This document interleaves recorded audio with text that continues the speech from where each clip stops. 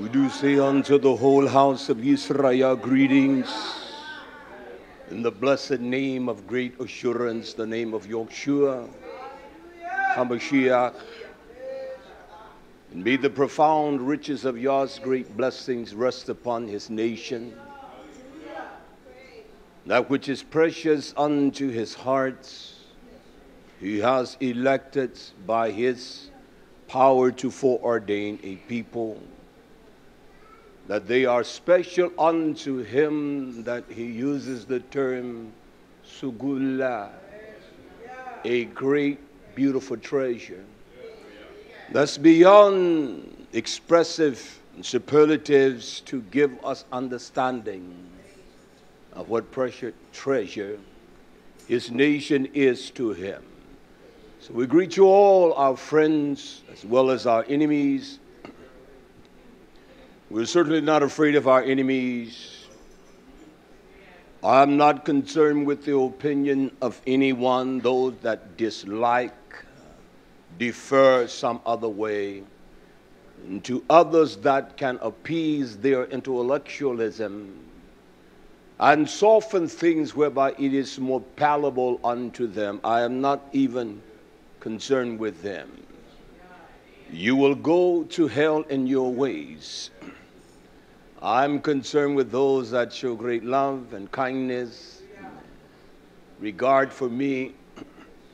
I will not alter the course of Yah to appease one, but I certainly do consider the whole house of Yisrael. Again, greetings, and you that have the power to pray. Let us remember our precious Akh Yaqub there in Florida, he and his shore to pray for him, his strength, and for Yah's great power to manifest in a way that's beyond the ability for the mind to understand. As well as our Akh Micaiah there in Cincinnati, faithful Akh. Let us remember them in our prayer that Yah's great healing power shall rest upon them, and not only on them, but us all, that He began the process in our minds. That's where the healing began, in our minds. We must get our minds set in order. And the body will follow pursuits. It begins in the heart, in the liba. So we must begin to operate on that you cannot operate on anything or have any procedure of operation without instruments that are sharp, scaffolds. You must have the scaffolds to cut, to make the incisions. And so we must have a word that is sharp, sharper than any two-edged sword. No bacteria of death when it cuts that will leave some kind of infection, it rids it out. And so, as a nation, that is what we need as a people. And sometimes we may think that he is somewhat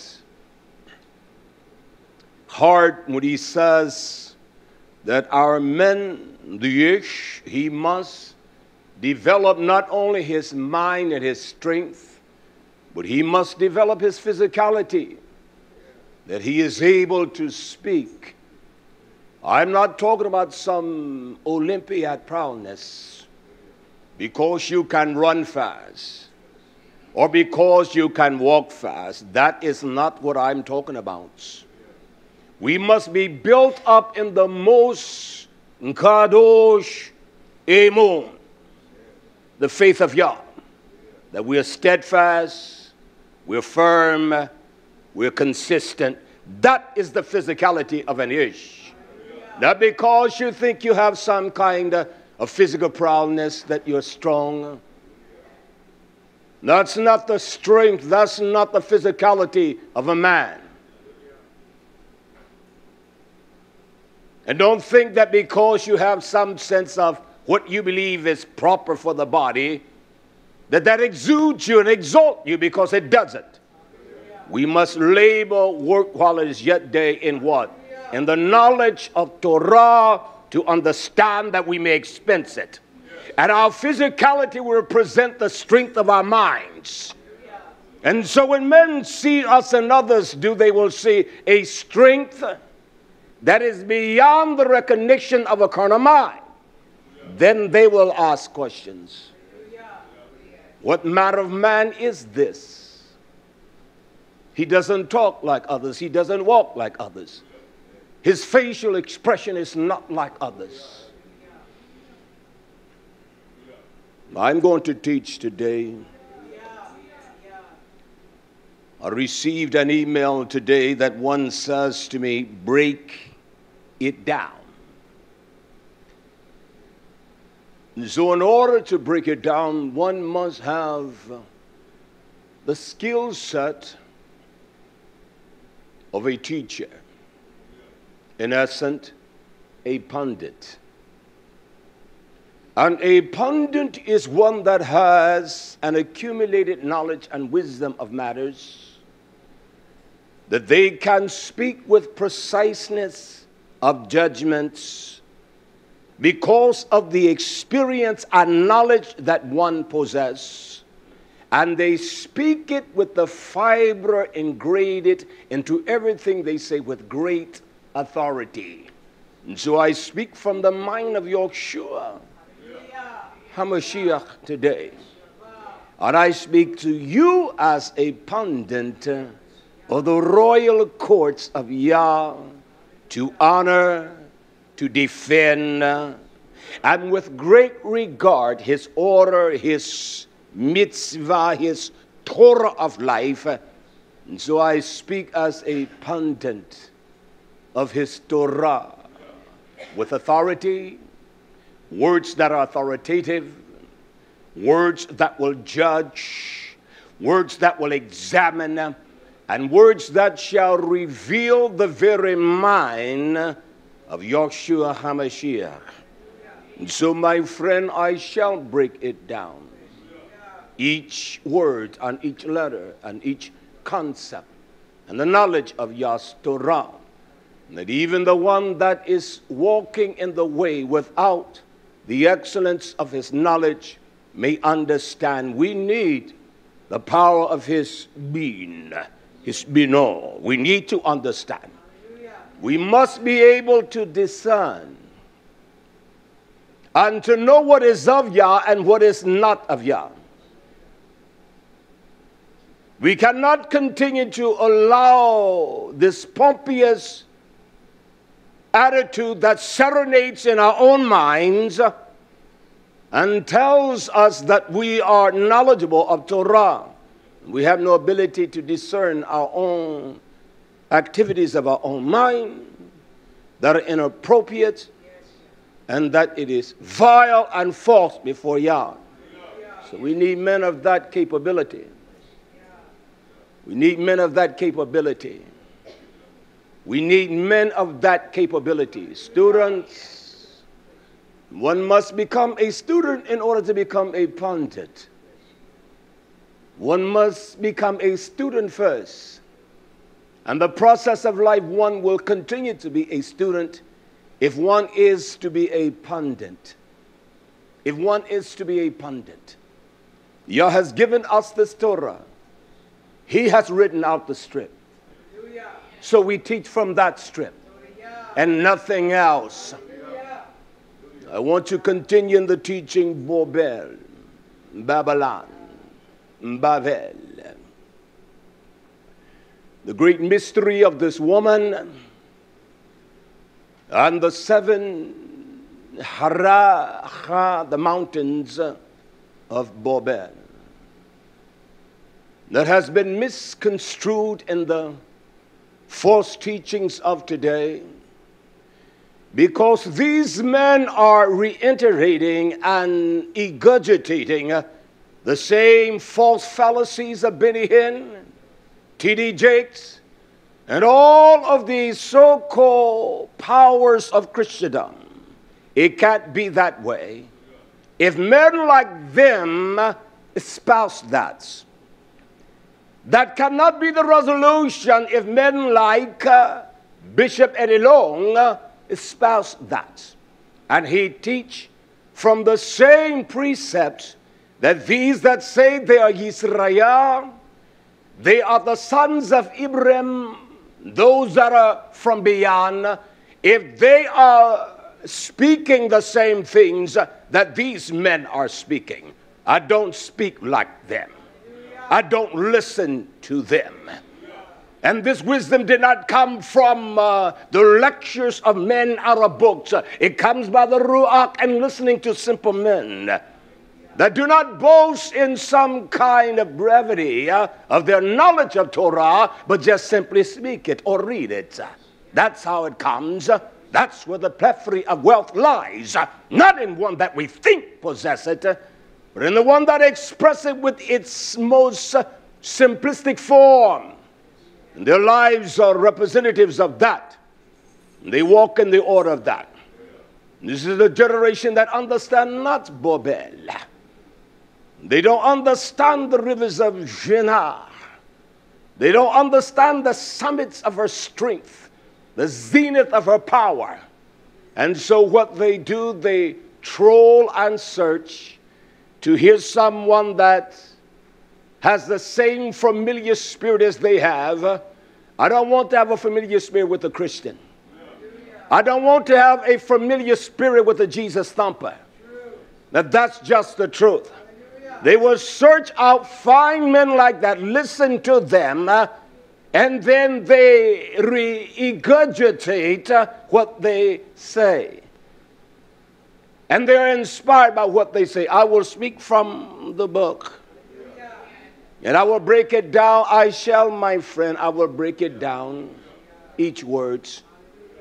I want to begin here in Bereshit, in Gilead. In the book, the writings of Yochanan Revelation, I would have begun here in Gilead, Revelation chapter 17 and verse 9. I'm going to take my time. I'm going to explain the nuances, the wisdom of words.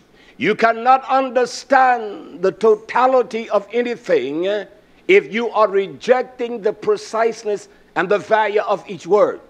That's why we must go beyond our ability to interpret by our own visual uh, and spiritual concept of what the word defines. Uh, we must go beyond that, Yisrael. We must search the reputable sources as to define the origin and what Yah says uh, concerning the words. You're not going to find that with one or two chizve scripture. It takes a preponderance. It takes scriptures from Bereshit to Gilead. This is the wisdom of Yochanan as he saw this great power rise up with superb dominancy and power to bewitch, to alter the mind to change the concepts, ideas, ideology, and to spew out that which is so vile and abominable. Uh,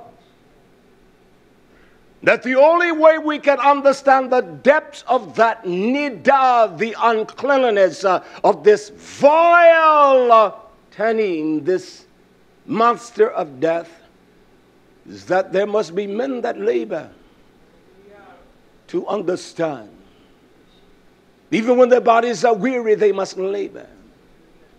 It's amazing that students do that all the time in college. And they labor and they excel to become cum laude. And where are the cum laudes among Yah's people? Wise men, beautiful daughters of Zion. Where are they? Yochanan speaks here in Revelation chapter 17, verse 9. He expressed unto us here this mind, this laba that is presented unto you.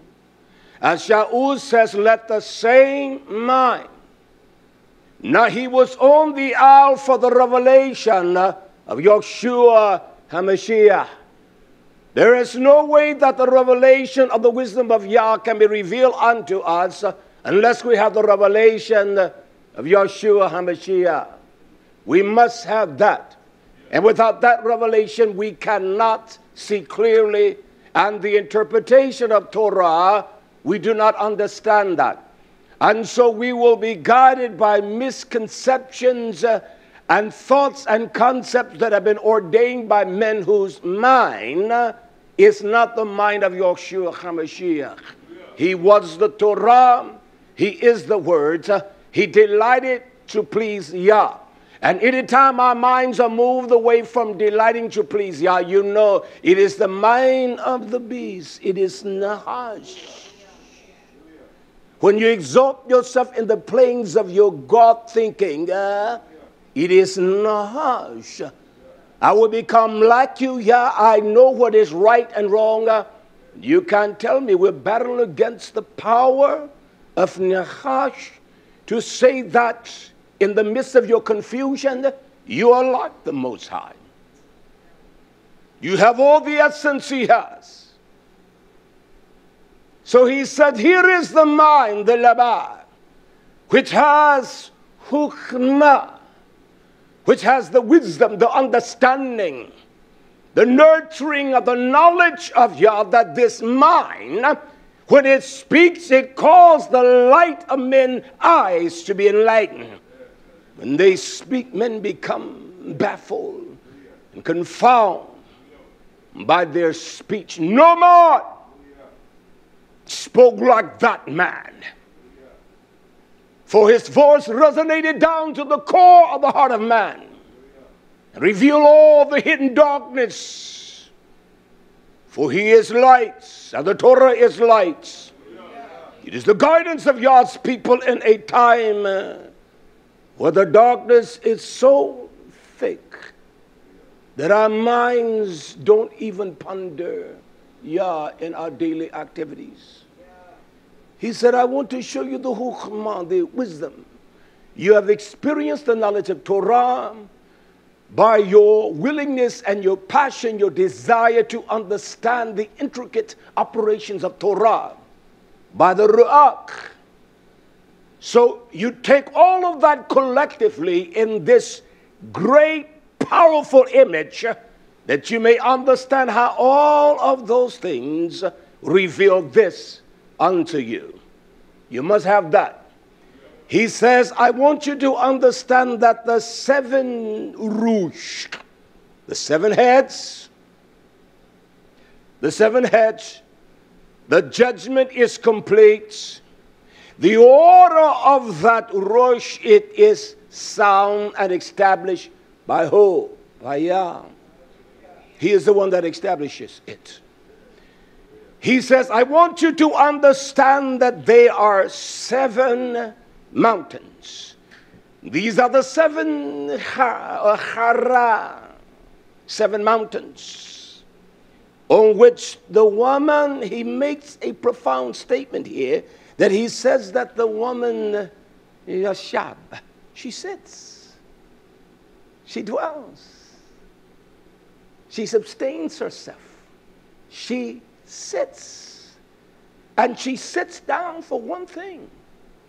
Yoshab implies uh, that when one has the power to sit, Yoshab, they sit for one thing that is to pronounce judgment. She sits at the roosh. She sits at the head. She sits at the summit of the mind. That's why Yochanan said, here is, is the mind of wisdom. We must deal with the aspect with the mind of wisdom. So she sits.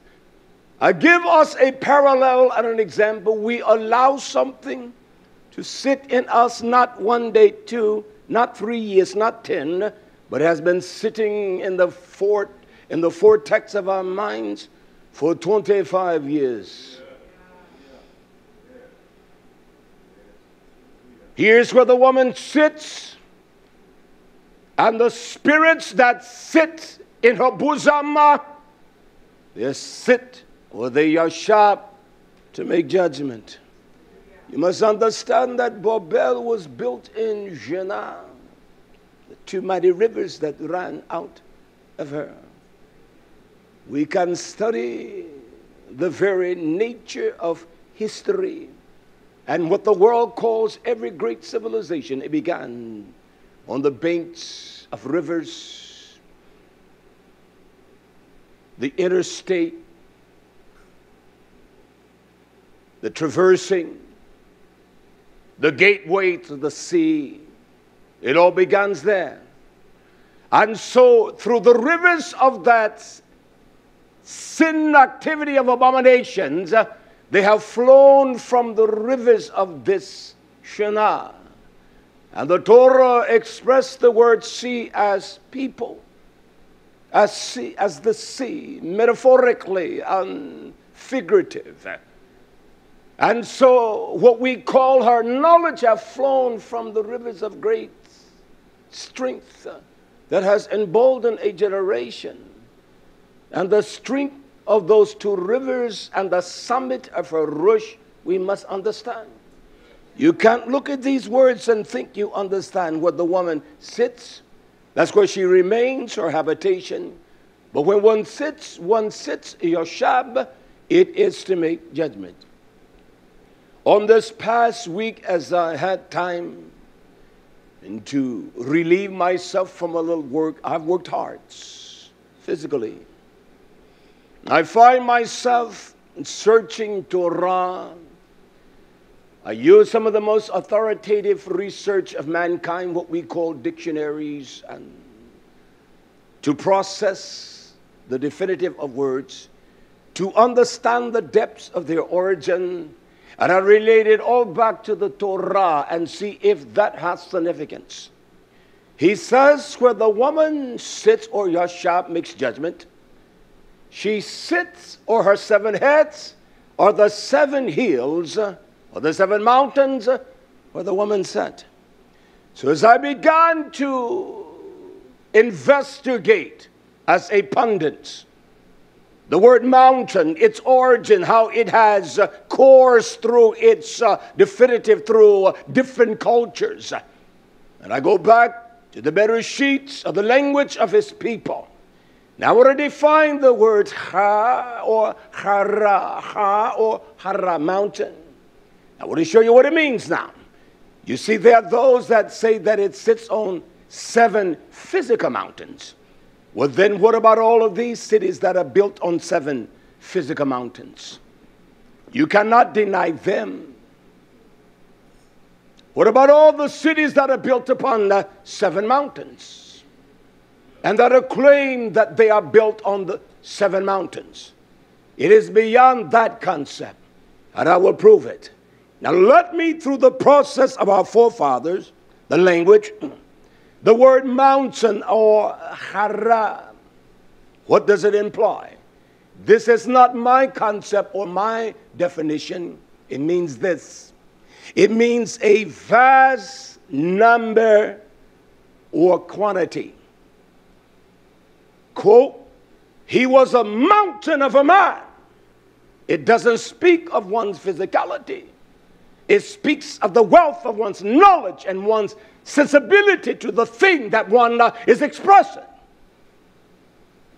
You've heard that expression. He was a mountain of a man. His persona was greater than his physical stature. He was a diminutive man, yet he was a mountain of a man. Has nothing to do with some tall seven foot three, but it is his ability as an orator or as a speaker to present ideas, concepts, and thoughts that mesmerize the minds of the hearers. That's what it means now. It means an enormous mass of bulk, a major obstacle, or a difficulty. That was a mountain of a task that I had. See, we want to relegate it to a physical type of formation. It's greater than that. And so you hear Benny Hinn talking about the Catholic whorehouse. You hear all of these that call themselves Hebrews. That's all they know. They have been trained by a filthy whore. They have not been trained by the mind of Yeshua. I shall break it down, my friend. In the archaic, that's one of the first things that Evangelist Hartsfield taught me.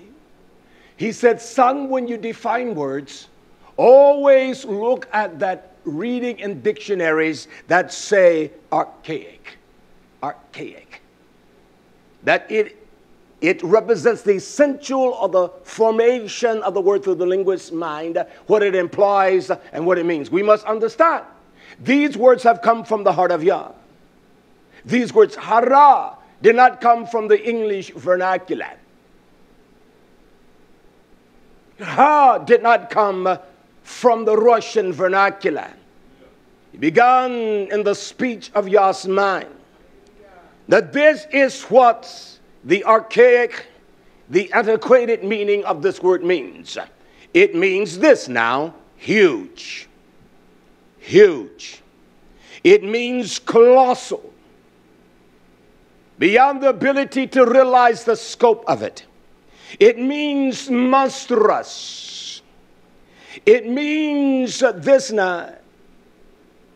We've taught on this in Nahash. Behemoth a behemoth, huge and beyond the ability to comprehend, and also Leviathan. These are two words that are pronounced constantly in Torah.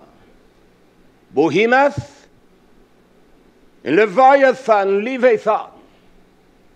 To understand the depths of that, we must understand what behemoth means. It means this, hear me, something of oppressive and monstrous size. There's something that is beyond your ability to obtain or ascertain, uh, to subdue, uh, to bring subjected unto your authority. So it is something that is monstrous. That is what it means. That is what something that is that huge and that monstrous, it means that. It is, he was a behemoth of a man. He was larger than life. I had a behemoth problem that my mind could not adjust. It drove me into despair. This is what it means. So, in order for me to get the depths of this, then I go to Torah to understand what Torah says about behemoth or what it says about Leviathan or Leviathan. In Torah, Leviathan, it is a symbolic sign and attribute of one specific thing with other amenities. It is that which is evil, seductively wicked. And it has the power, it is larger than the masses of most things or anything of its kind. That is what Leviathan implies. Leviathan. When I found that, when I researched this word, it says the largest of most massive things. So when there is something that is massive, then Leviathan is larger than that. Behemoth it is a very massive construct that you're not going to dismantle this lie of the Roman whore being where the seven mountains are. You're not going to dismantle that construct. That's why we must have the mind to understand this woman, to understand this so we can process it by the mind of Yeshua HaMashiach. We must define things by what Torah says. And with that, I want to open your understanding to a simple thing from the tribe of Jeremiah, Baruch, second Baruch. In this time that we are in, he saw this great power ascending and rising to a state that it was beyond power to contain. It was a behemoth. It was a monstrous size. It was massive beyond the ability for one to even correct or even uh, siege upon it and one take control. We're dealing with something here. He did not say, This is your wisdom. He said, This is the mind of wisdom. This is the mind of wisdom. You must have a laba of wisdom. This is the mind that has the hukmah. He says in Baruch, Second Baruch 29 2. Yah says, For at that time I shall only protect those found in this land. He's talking about the land of Israel. Is he talking about the physicality? He's talking about those uh, that are found in the promises of Abraham. Because Israel means that we as a nation, the power of Yah prevails in us. He says, shall protect only those that are found in the land where there is true shahad, where it emanates from our bosom, the delight abound before our Abba to please him in all that we do, Yisrael. He says that are found in the land at that time. He's talking about this uh, the latter time, at the time of, of great agony, something that is so huge that it oppresses the mind, something that is so vast that its tentacles reach beyond nations, uh, that even the kings of the nations uh, are drunken by it. He says, uh, and it will happen that when all that which shall come to pass in these parts have been accomplished, when all that Yah has ordained, when all that Yah has set in motion for it to be done, we're not going to stop anything that Yah has ordained. He has ordered our steps in the power of his promises, his dabarim. We heard the teaching on the order of Yah. So he has ordered our steps in his Torah, in the wisdom of light in Yeshua. And then he speaks of the anointed one, the one that has risen out of the bosom of Yah. He said, and the anointed one shall begin to be revealed. The power of Yeshua is not truly revealed unto us. That's why we can walk in sin and our conscience do not bother us.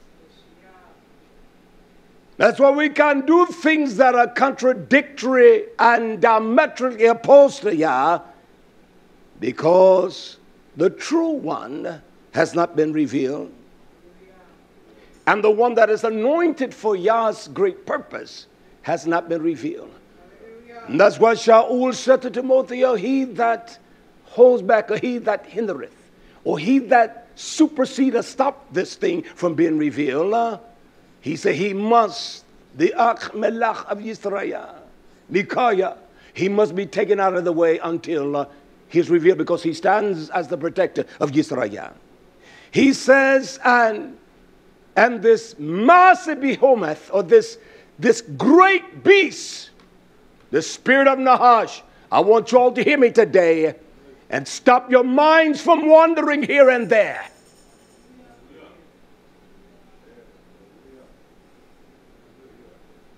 This behemoth will reveal itself from its place. He says, and then Leviathan will come from the masses of the people, come from the sea. So you tell me that if this kingdom sits on seven hills, then the man that rises up out of it comes as a mermaid or some kind of freak. And the spirit of Nahash shall rise up out of the masses of the people. It shall rise up out of the hearts of the people because of the disdain for Yah. He says, and then he says, two great masters, two great masters, which I have created on the fifth day of creation, which I have kept until that time. There are things that are not revealed unto us. He said, I've kept unto the fifth day, and the men that were in the fifth day, they have not come to the conclusion to understand because they're easily brought out. They love the gifts of the people. And the people send them gifts and massive quantities of money. And those men of the fifth day never understood nor received the knowledge of that. And so they received the knowledge of these uh, perverts. Oh, it's the Catholic whorehouse. The Catholic whorehouse has nothing to do with Yah. Nothing. And if you look to that for some kind of sign, you are a damn fool. Yeshua said that this is a a wicked and an adulterous generation. They're always looking for a sign. And there should be no sign given. And so if you take the Pope as your sign, you are a damn fool. You are wicked. You don't know Yah. There will be no sign given but the sign of this great rising of Yeshua from our bellies when the rivers of water flows uh, and this great sign of great uh, great rejoicing and the power of this wisdom. He must rise up the parts of Israel from the nation the only land that Yah has chosen. Must rise up out of that. So the men of the fifth day never understood but there was a man, Hanak, uh, Baruch, could write about this fifth day. In the time of Jeremiah and the prophets, he says, uh, and not only that, I have kept him to that time. He said, and they will be nourish, nourishment for all who are left. Now tell me the spirit that is nourishing the people today. There are two summits of this. You tell me all mountains are the same height. They got different peaks, don't they? And the summit is the zenith of any mountain, isn't it? And so this Babel, she has uh, two major summits. That out of those summits, out of the two rivers, uh, flow every kind of unclean thing there is. Uh, that's why Yah commands us to come out of her, my people. Come out, not, not some governmental system. Show me one system of the world that is right. In that little damn strip of land you call uh, Israel, faggots running, dogs and crooks, uh, and thieves and murderers, uh, oppressors run it. Uh. You want to give that a sign of approval? There are thieves and mass murderers and liars and, and dogs running to. Are you glory in that? Let's go to the Holy Land. Damn your Holy Land. I'm going to the land.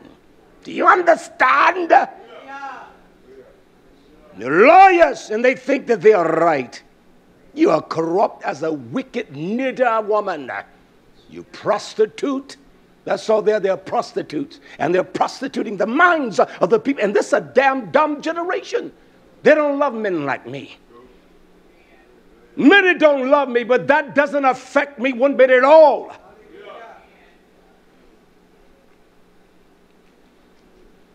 We must understand our Abba. He is not playing.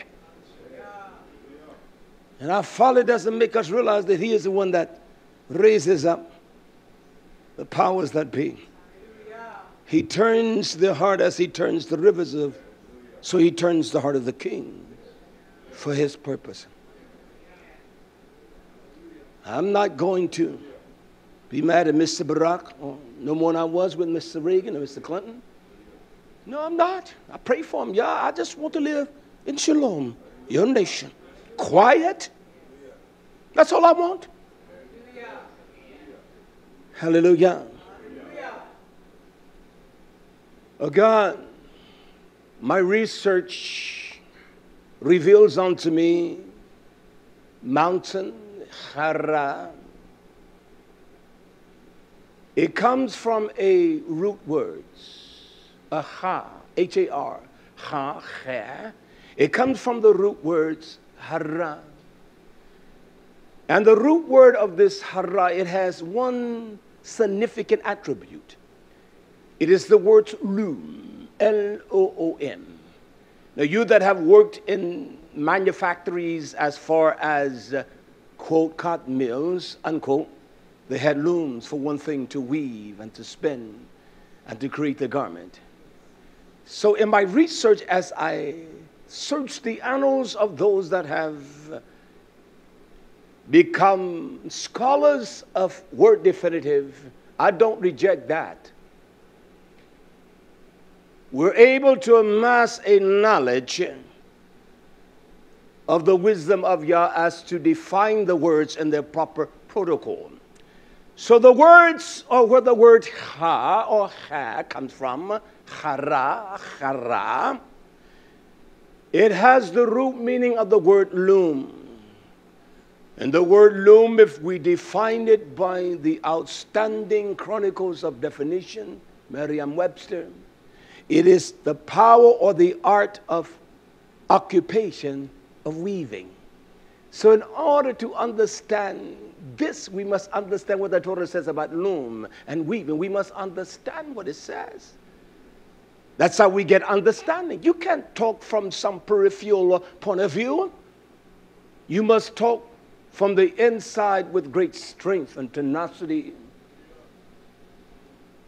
And you know what you're talking about. You can't just repeat what you've heard. I'm not repeating what I've heard because I've never heard this. I'm speaking how the Ruach opened up my mind to labor to get understanding. So it means uh, loom up. It means a mountain or a hill. That is what Hara means. He was a mountainous man. He was a mountain of a man. That's what Hara means. Now, when I began to understand the word loom, hear this meaning now. The woman here is wisdom. Here's the mind of wisdom. Uh, the seven heads are the seven mountains, uh, hara, that the woman sits on. And the word hara is uh, that it is uh, the word ha, its roots are based in the word hara. And I just define what it means. It is to loom up. And to understand what loom means, not my definition. There are few things that I pay for, but I do spend $2.99 a month for a dictionary of synonym, antonyms, definitives. It's one of the most thorough research dictionaries that one can utilize. I do pay that. I do pay that. Because I'm not smart like you that think you know everything. I'm always looking up words. You don't understand the flow of the sentence or the wisdom of the sentence unless you can define the words. Now, the word loom, I want to define that. It means to brew, to come on. This is loom now. To dominate, to emerge. It means to overshadow. Now, who would have thought loom would express those characteristics. It means to soar, to stand out. That's why when Yochanan saw that thing, that behemoth, that monster, that tanith, he was, he, he was mystified. It means to threaten, it means to impress, to rise up, it means to be menace, tower, to stand out, and above all that, it means figure. As one would say, that's just a figure of speech. But yet it has greater indication than what the speak denounces or pronounces. And so, in order to understand the, the definitive of this woman, how she loomed, we must search the book and see what it says, even concerning uh, that one words. You can't integrate something that is not of that relevance to this word and try to make it work. Too many do that. They made things work for their own superficial, false concept. They're not doctrines. So I must examine the book. So you can't examine a book and forget about playing some silly video game. You must, as a labor, come back and forward to study, to work, and believe me when I say I work, I can work as hard as any man. Now that's just a fact. I don't let physicality and physical obstacles stop me. I don't allow that. That's just a fact. Nothing.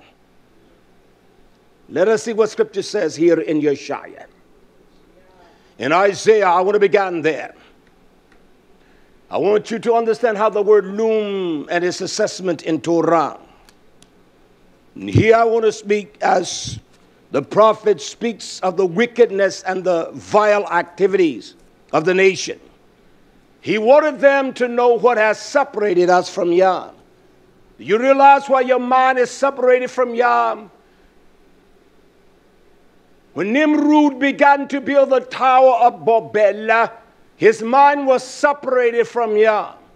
There was something in the midst to cause the man. He was a great king that Yah has raised up. He was not raised up by Hashatan, he was raised up by the Most High.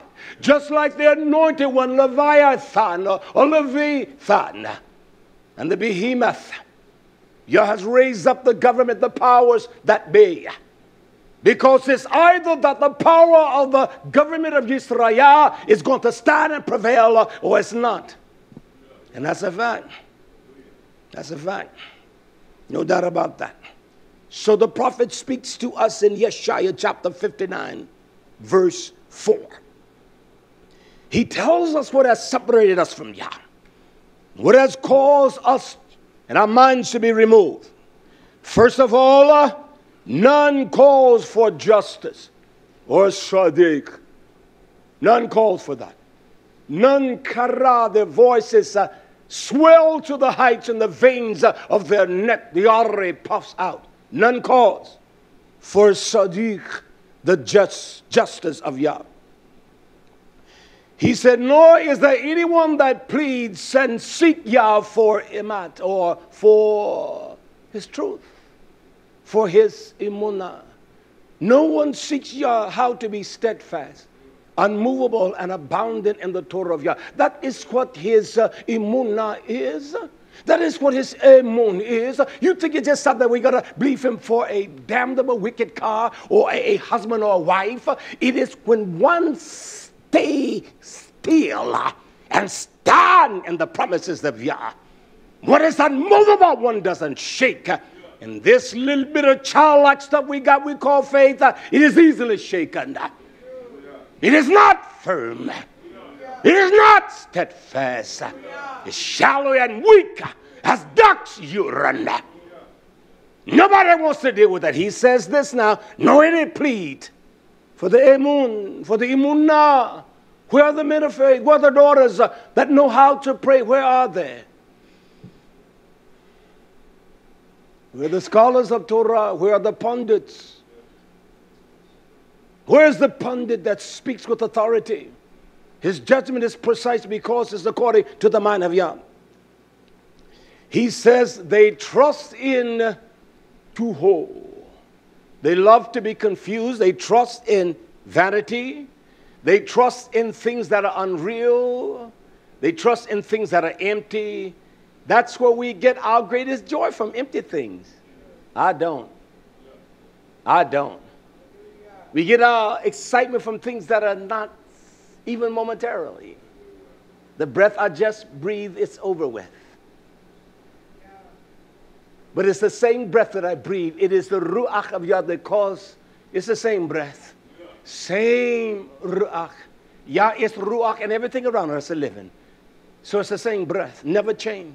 Same today, yesterday, and forevermore. Proceeding on. He said, We are a nation that, uh, he said, we trust in vanity. Because we trust in vanity, we speak shah, we speak empty things. We speak lies, we speak shakah.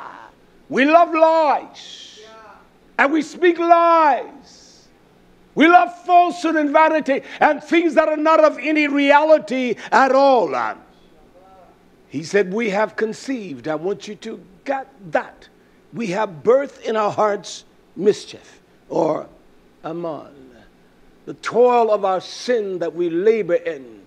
This is this great Leviathan and this behemoth in our minds that we toil and labor to do wrong but not to do right.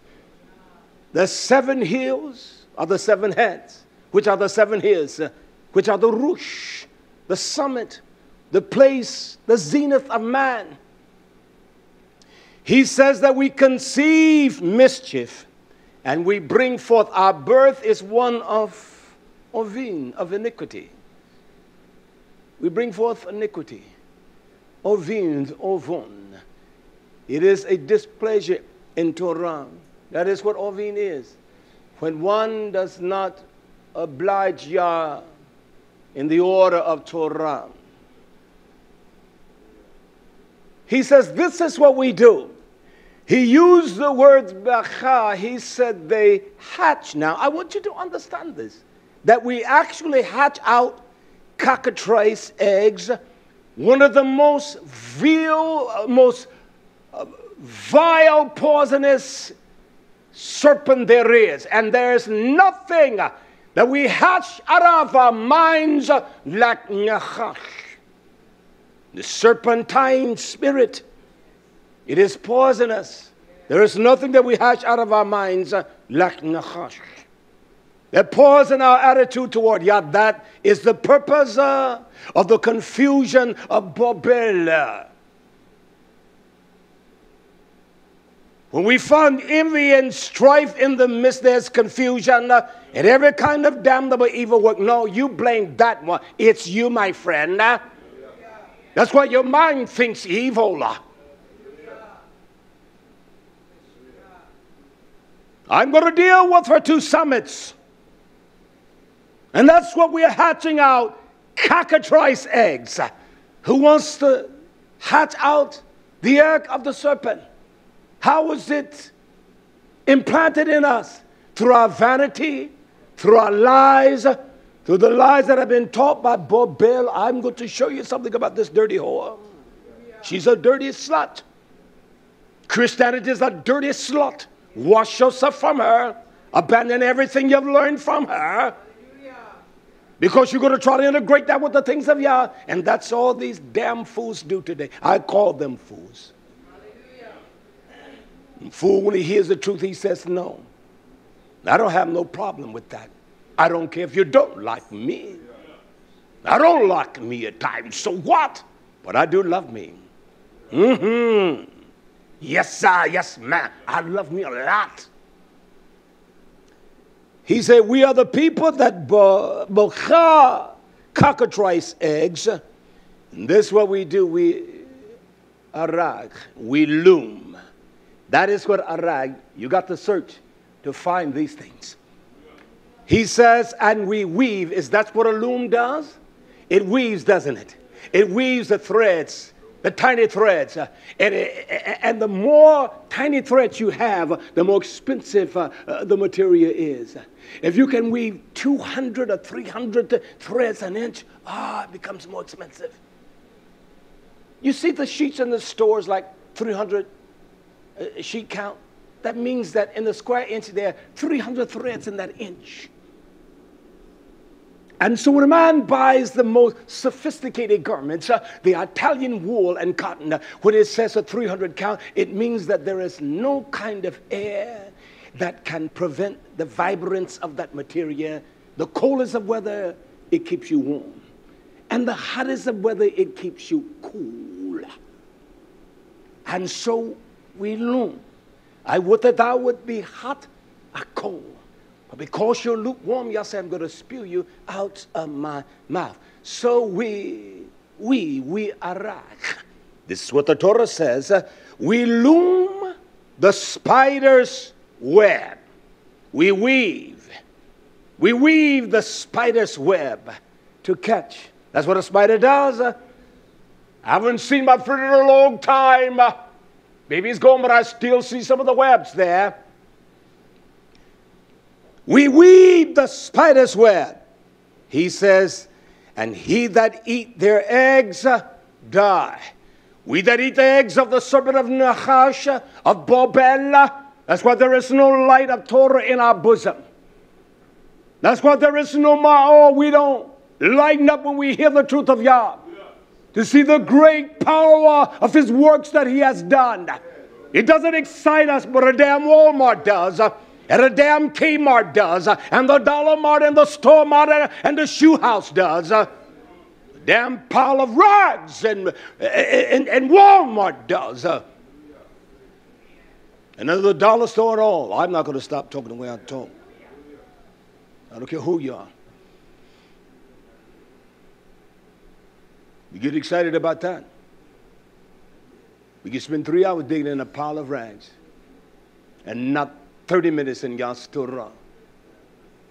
I know that's right. So they that eat the eggs of Nahash, of Bobel, the eggs are nourished through the flowing current of the river.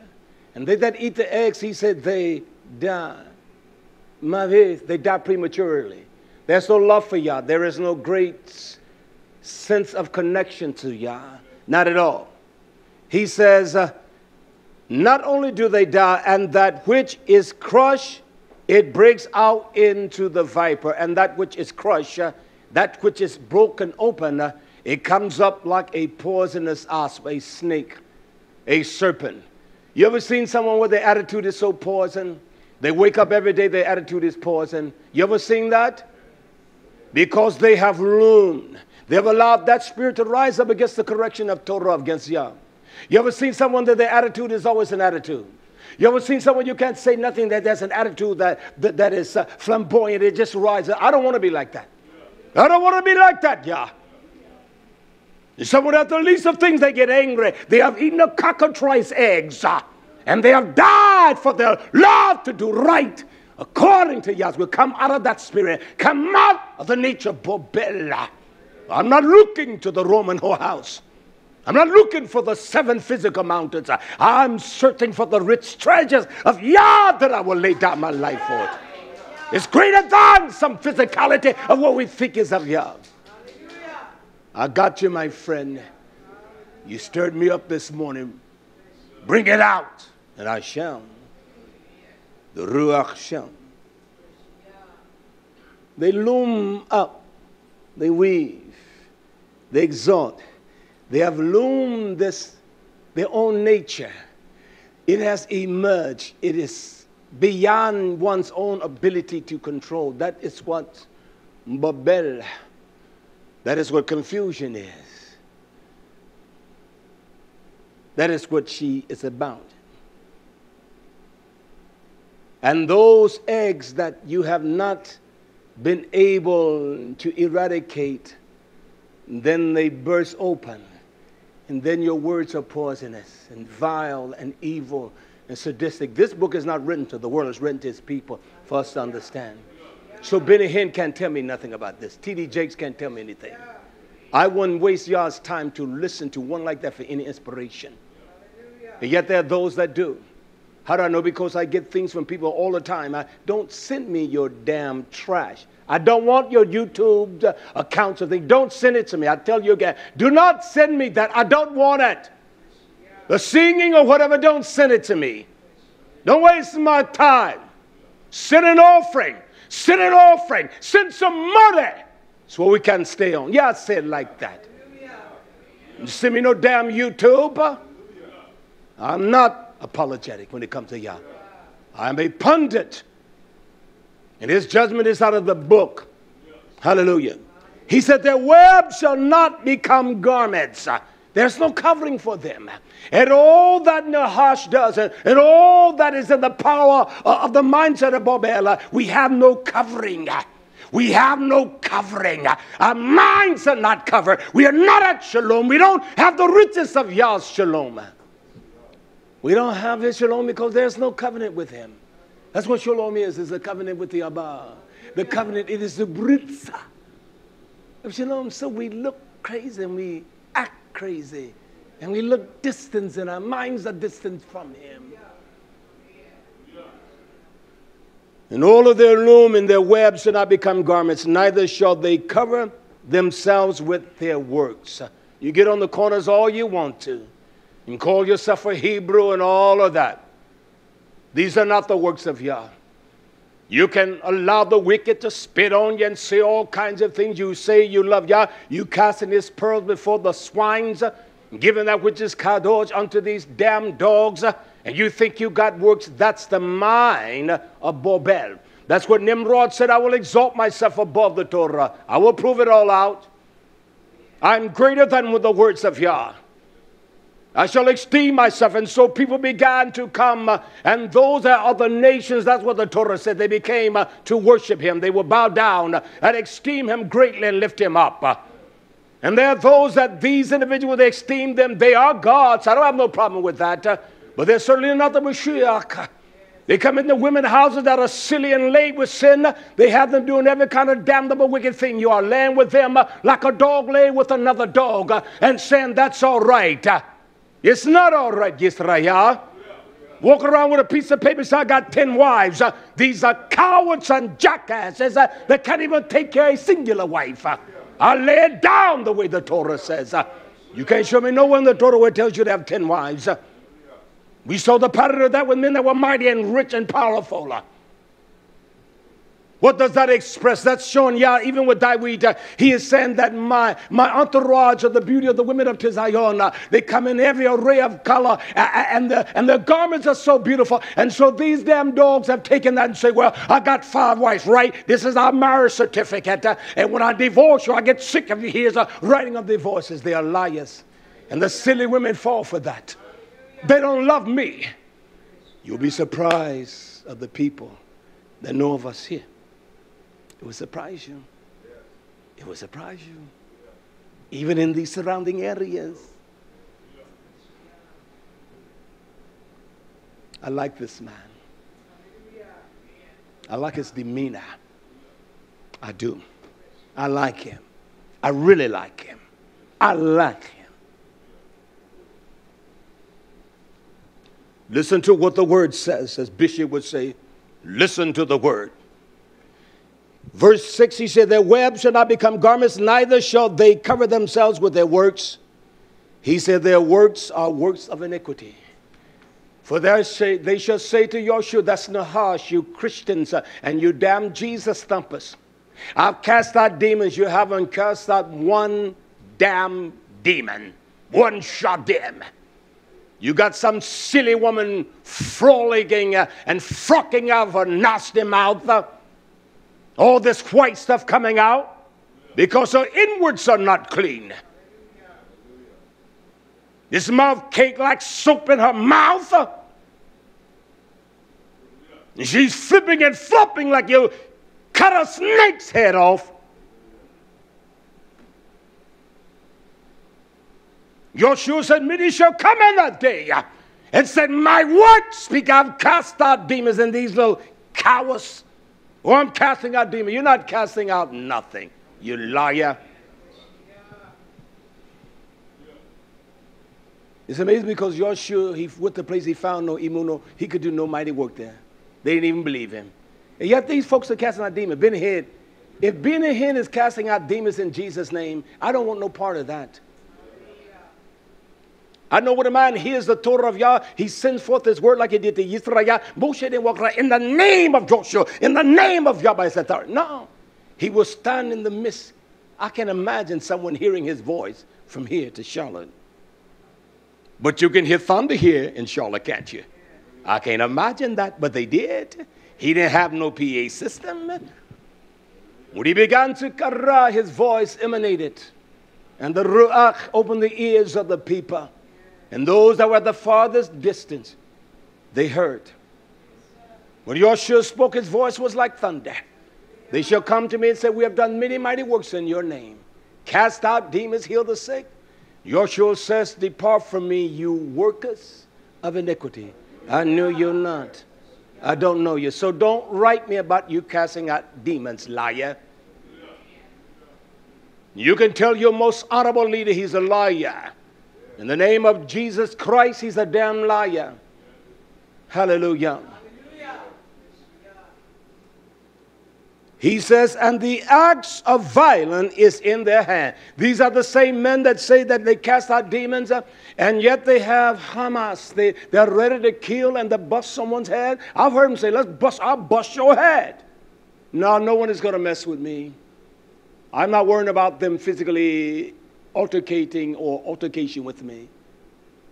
I'm not, I am not worried about any man doing that to me because he's not going to touch me. You're not going to touch me, man. You, you may touch them, but you're not going to touch me. Period.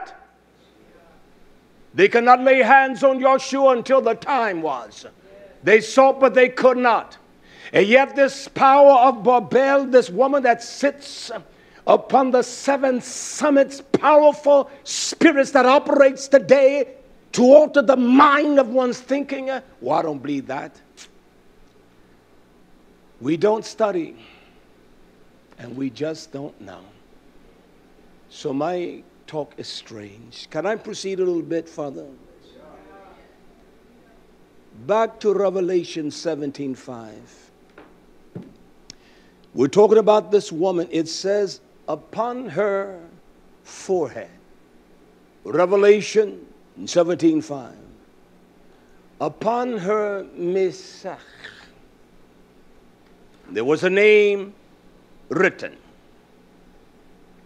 First of all, it was Lat, mystery, that which is secretive and that which is based upon enchantment or bewitching, seducing the mind, and that which is kept silent, that no one knows but those that are in the hierarchy of that chain of spiritual preference as Yah has elected, so has Hashatan. He takes out of the base where Yah says, I don't even want it. He has elected. I want to stop there for a moment. It says here in Revelation 17 5, and upon her forehead, upon her mesach. In order to understand depths of that, you listen to the messages on the number 666, all right? Now, why is it that this was so noticeable on her forehead? What does the mesach represent? Why is that vitally important? To understand even the smallest knowledge of that. You hold that in Revelation. And let us see what is in Shemoth, Exodus. Exodus. In chapter 28.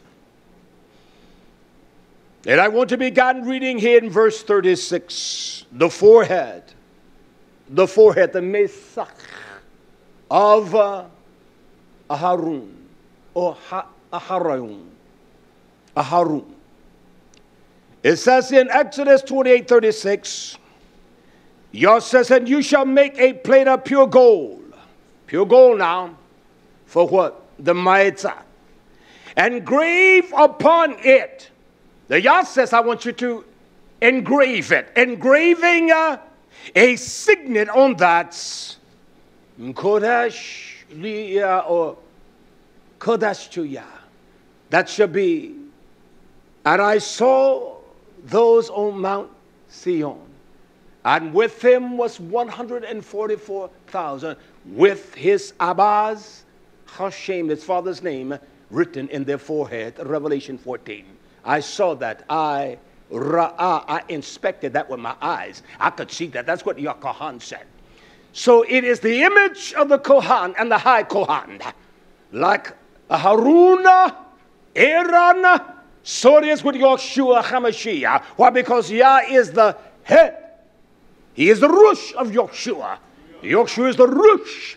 He is the summit of man, and man is the summit. A woman, I want to inject this, daughters.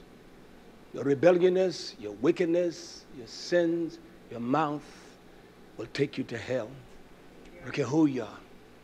I don't care what you think. It is time out you better get it right. And that's a fact. Yah has an order. He is the supreme. And the power of his living word in Yeshua, that body. And he has entrusted that to man. I love your daughters. He didn't entrust that to you. He entrusted that to man. For it was the woman that transgressed. Y'all can get upset set with That's all right. I say that because I care for you. Not trying to get in bed with no one. Never have. Promise you that.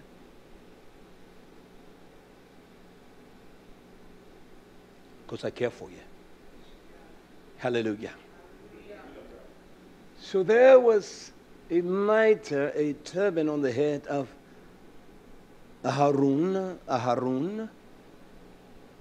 Yah said it must be a pure gold. The pure gold represents the, the purity of one tried, the purpose and the heart being tried for, for the purpose of Yah. He said, I want you to grave upon it, Exodus 28 36. He said, of a signet, uh, Kodesh to Yah or Kodesh li Yahweh. And he says, And you shall put on it a blue lace, that it may be upon the mitre, the head covering. The head covering.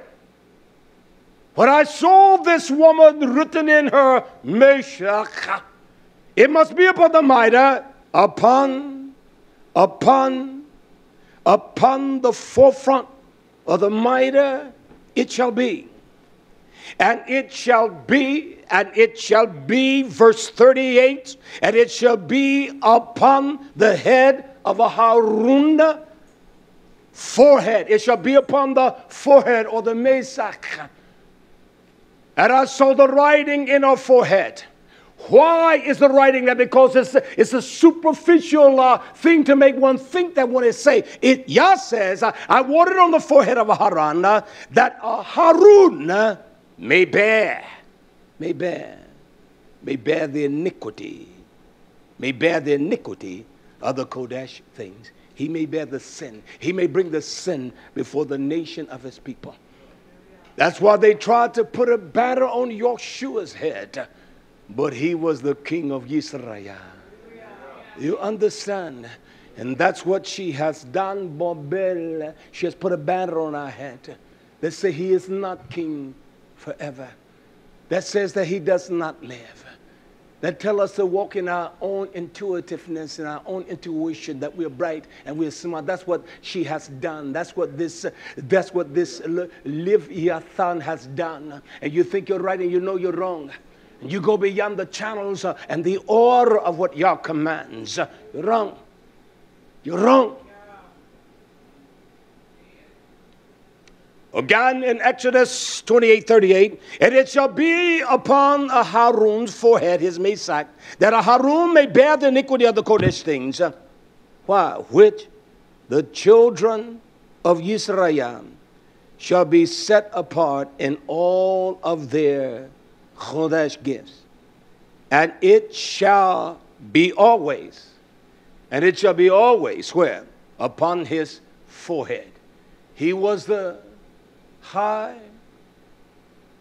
Kohan. The Gadol, Hagadol Kohan.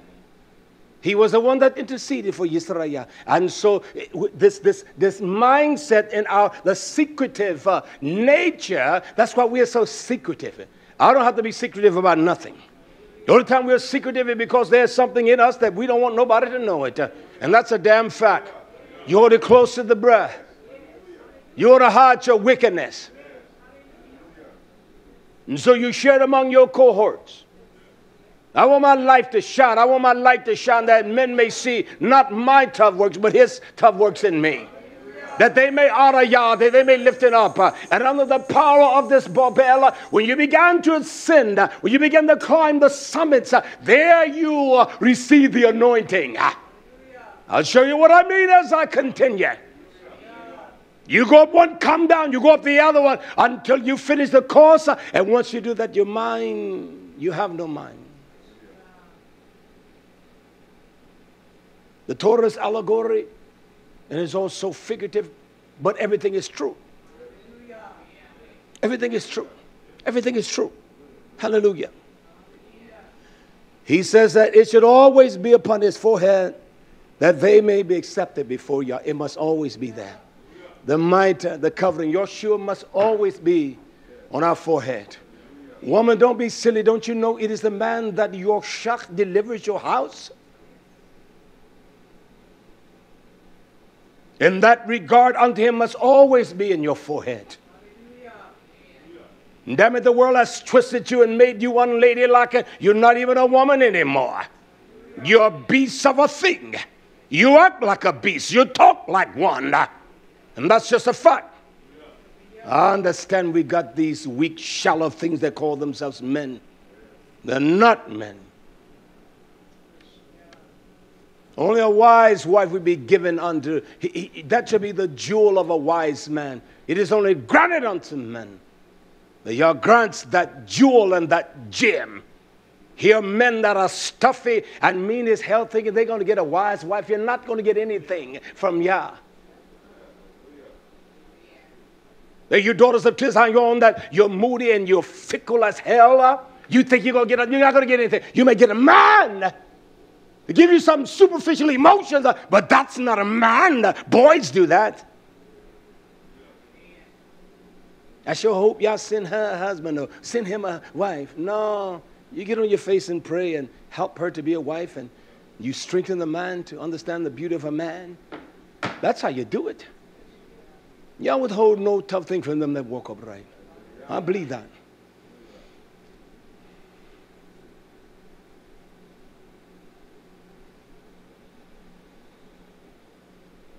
Preacher. Preacher man. The mitre upon the forehead of this woman. She has written, first of all, we know what was in the forehead of Harun that he must cover for the iniquity of the people of Yah. This whore doesn't cover for your iniquities. This mind doesn't cover you, it exposes you. You have weaved your garments, you have loomed up, you have said, Look how nice I look. Look at my fine garments. Look at the cockatrice, cockatrice shells uh, and my wickedness. Look what I've made me. Look at this nice garment I've made. Look what I've done. And don't even realize that you got cockatrice, you got vile affection in your heart. And when it, when, it, when it comes to pass, when it hatches out, you are more wicked than what you were before you ever heard of Yah. That's a fact. You're nasty, you're wicked, you're vile. That's the way we are. This is not talking to the wicked. It's not talking to the world. It's talking to a house that's rebellious, a, a house that whose, whose iniquity has separated us from Yah it's our own iniquity. That's why we have no love for prayer. It's not Popelo. It's not Babylon. You separate our time from Yah. We just don't love Him. And that's a fact. Written on mystery in our forehead uh, that this lot, mystery, secretive, uh, and we are secretive, are we not? Let's get together and let's hatch out something. That's what we do. We hatch our cockatrice, uh, cockatrice. We hatch our cockatrice eggs and we loom it together. You take a little he says, and a little she says, and a little they say, and you loom that and you weave that, uh, and it becomes your garment of covering. And so when you see me, it's like, huh, he think he don't know what I know. I know you're wicked, man. You're a shallow little boy. So you have you have weave your garments together, and I say you're still naked. Yah says you're naked before me. You are unclean. This is the real deal and true teaching. This is what it's going to take to get into the kingdom.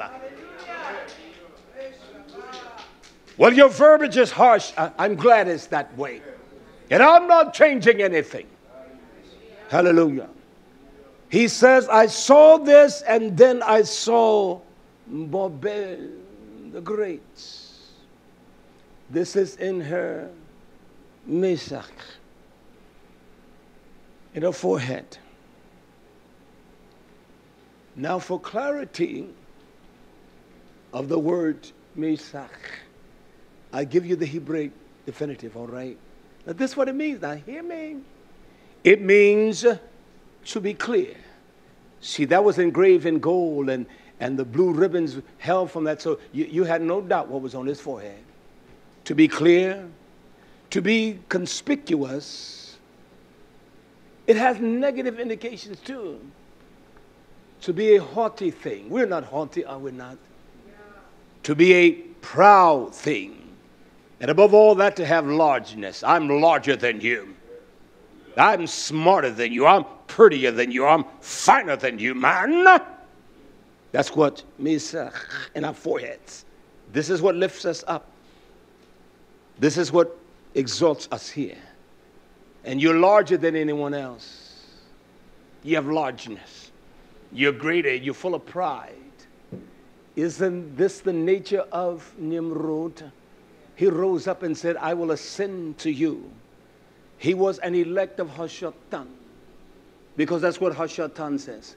I will ascend above the great clouds, the covering of Yah's people, into his kingdom to the side of the north, into the high place. Now tell me, tell me, show me the mountain that reaches into the heavens. Show me one.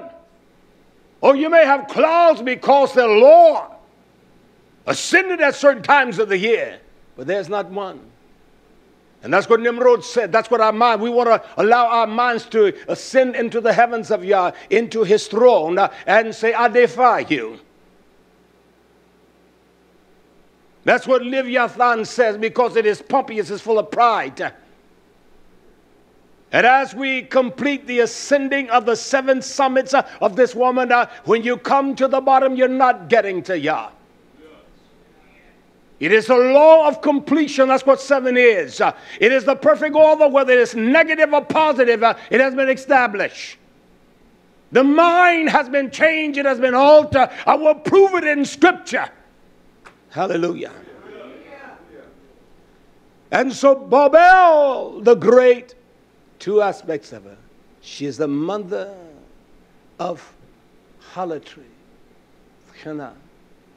I'm going to stop there because I want to work on this today. I'm not going to have time and have abominations, but I want to work on that harlotry. I want to work on that a while, all right? She is this Kidashon. She is the mother of temple prostitutes that we prostitute ourselves for what? We sell ourselves for our emotions, for some large experience we think is large she is the mother of zina, of harlotry. There is in the midst of that harlotry the spirit that bewitches the mind. It is satanic, it is out of the order of hell. and she was written, first of all, mystery.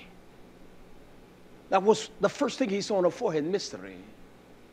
Do we know what the mystery is? It is so simple that we, we don't even know.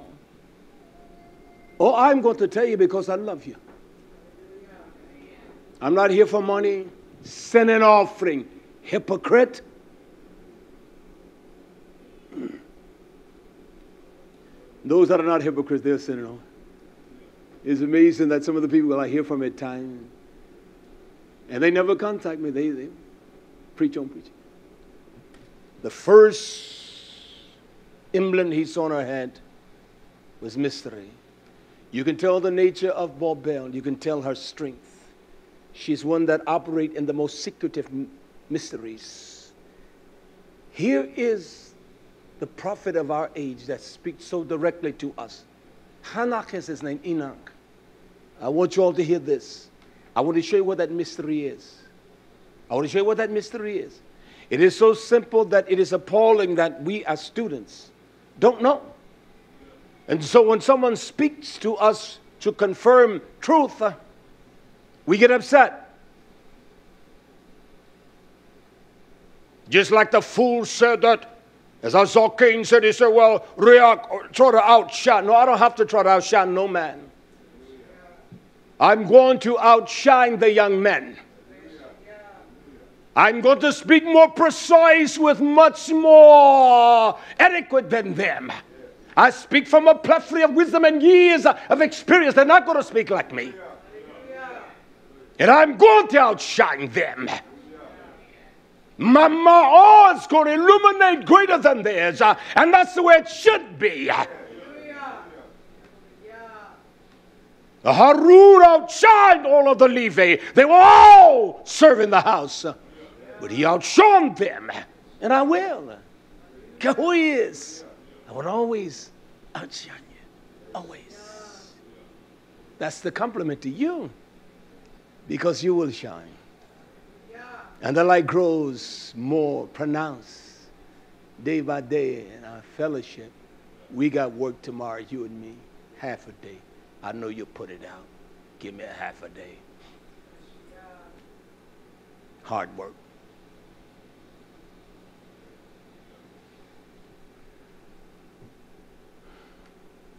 I'm going to outshine the older men that have not labored and been caretakers.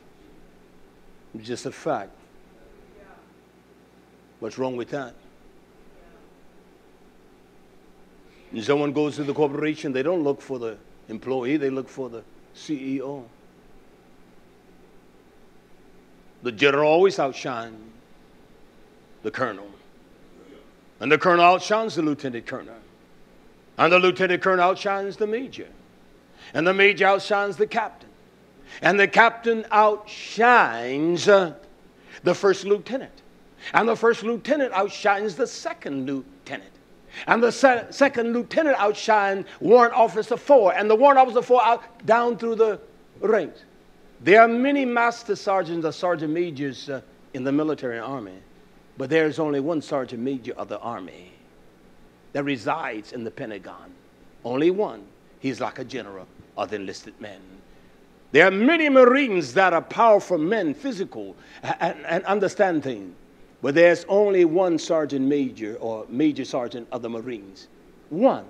And he sits in Washington, D.C. Only one. Although there are others, uh, although there are others, and when he come in the midst, I guarantee his uniform is more tailored when he come to the midst of them, his clothing look. I'm telling you, Yisrael, I've seen it. I've been in the military. You understand, man? I've been there. So his clothing always outshine. The, the fit of his clothing is different uh, than the other sergeant majors. Only one, only one, only one. And he outshines them all. So the damn fool will never shine. Never. A fool never shines because a fool has conceived that he or she has it. I'm glad I don't have it. I'm not trying to get it all either. I just want to take what he has given me, trust that and believe it. That's all. Moving quickly, the book of Hanak. What is the mystery? What is this mystery that he saw in her forehead? And I want to show us the process of this. Hanak 104, verse 9. Yah commands us do not become wicked in your levim, your hearts, or lie. Don't lie, Yisrael. Just don't lie. Don't alter anything. If you don't know, say, I don't know. But don't lie. Don't become wicked in your hearts, Risha, and don't lie. Or alter the words of that which is just, Sadiq, and true, Yosha. Don't try to alter the words of the just Someone says something, you alter what one says. Come on, Yisraya. I said to my Akshimri as we talk at times, quite often, frequently, I said, You know, Shimri, I've been, a, I've been a wicked man all my life. And I have no righteousness that I can, that I can say that I have, uh, I have produced. But it was one thing about me, I have never been a prolific liar. I, I, I just could not do that. I could not just lie. Even though if I was caught, okay, come on, dog. You, you, hey, what's up, baby? I, I, was wrong.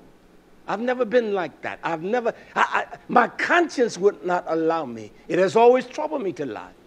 When I lied, I had trouble. I couldn't, it just didn't, it just wasn't right. I knew it wasn't right. And I was a wicked man. That's why I try to say things precisely the way I hear it. And when I don't, I would say, I don't know. Is that that? And there are those that will lie. Just like the dog said that I oppress you all and malicious to the people of Yah. And there you that fell in love with him. Isn't that amazing? He says in Hanak 149, he said, Don't utter falsehood against the words of Yah the Great. Don't utter words that you don't know, you don't understand. Don't say nothing if you don't know. Just be quiet. He says, I'm the Kodesh one. Or give praise to your idols. Don't say that I'm strong, I'm mighty. This is the power of Bobella. That's what Nimrod said. That's what we say. That's what we say. I'm strong. I know. I know as much as you know. I've had men to tell me that, and they were shallow and weak as ducks' urine. They didn't know anything. He says, or give praise to your idols, uh, for all your lies and your wickedness uh, are not for righteousness, but for great sin. So you tell me this one that in her Mesach, the words mystery, loved, her silence, uh, her arrogance, her superficial mindset, Yah says, no, it's you doing that because you love to sin. You love to defy what Torah says. He says, and now. This is what Hanak says to the messenger. And now I know this mystery, this lot, this secretive thing, this thing that, that caused through the power of enchantment, caused the mind to turn away from Yah and truth. For he says, and then he says, For I know this mystery, for they, the sinners, uh, shall alter the just verdict. And many sinners will take it to heart. They will speak evil words now and they will lie. That's the mystery now. We will lie, we will speak evil words, we lie without conscience, uh, no fear of li- lying. And no liars entering to the kingdom. No liar, no murderer. There's nothing more vile than a liar. And this is what Babel, this is how Nimrod lied. He had to have power to, uh, through enchantment to bewitch the minds of the people. I'll show you how he did it. Look what it says. He said, and they will invent fictitious doctrines and teachings and lies. They will invent fictitious stories and write out my chitve. He forgot it. The Baptists did that. The Methodists, uh, those that call themselves Hebrews, they have forgotten it. It's amazing that you got Hebrews on this corner, Hebrews over there, and they both raising hell at each other. They tell him he can't say the name right, and he say that he can't. A bunch of little nutty boys out there, braided up hair and dreadlocks, looking silly as hell. That's what they look like. Turn there. You, you know, if, if I wanted to, I could go and say, okay, I, will take my scripture. No, no, we're going to talk about this. See, and they go back to the same regiment. That's all they do.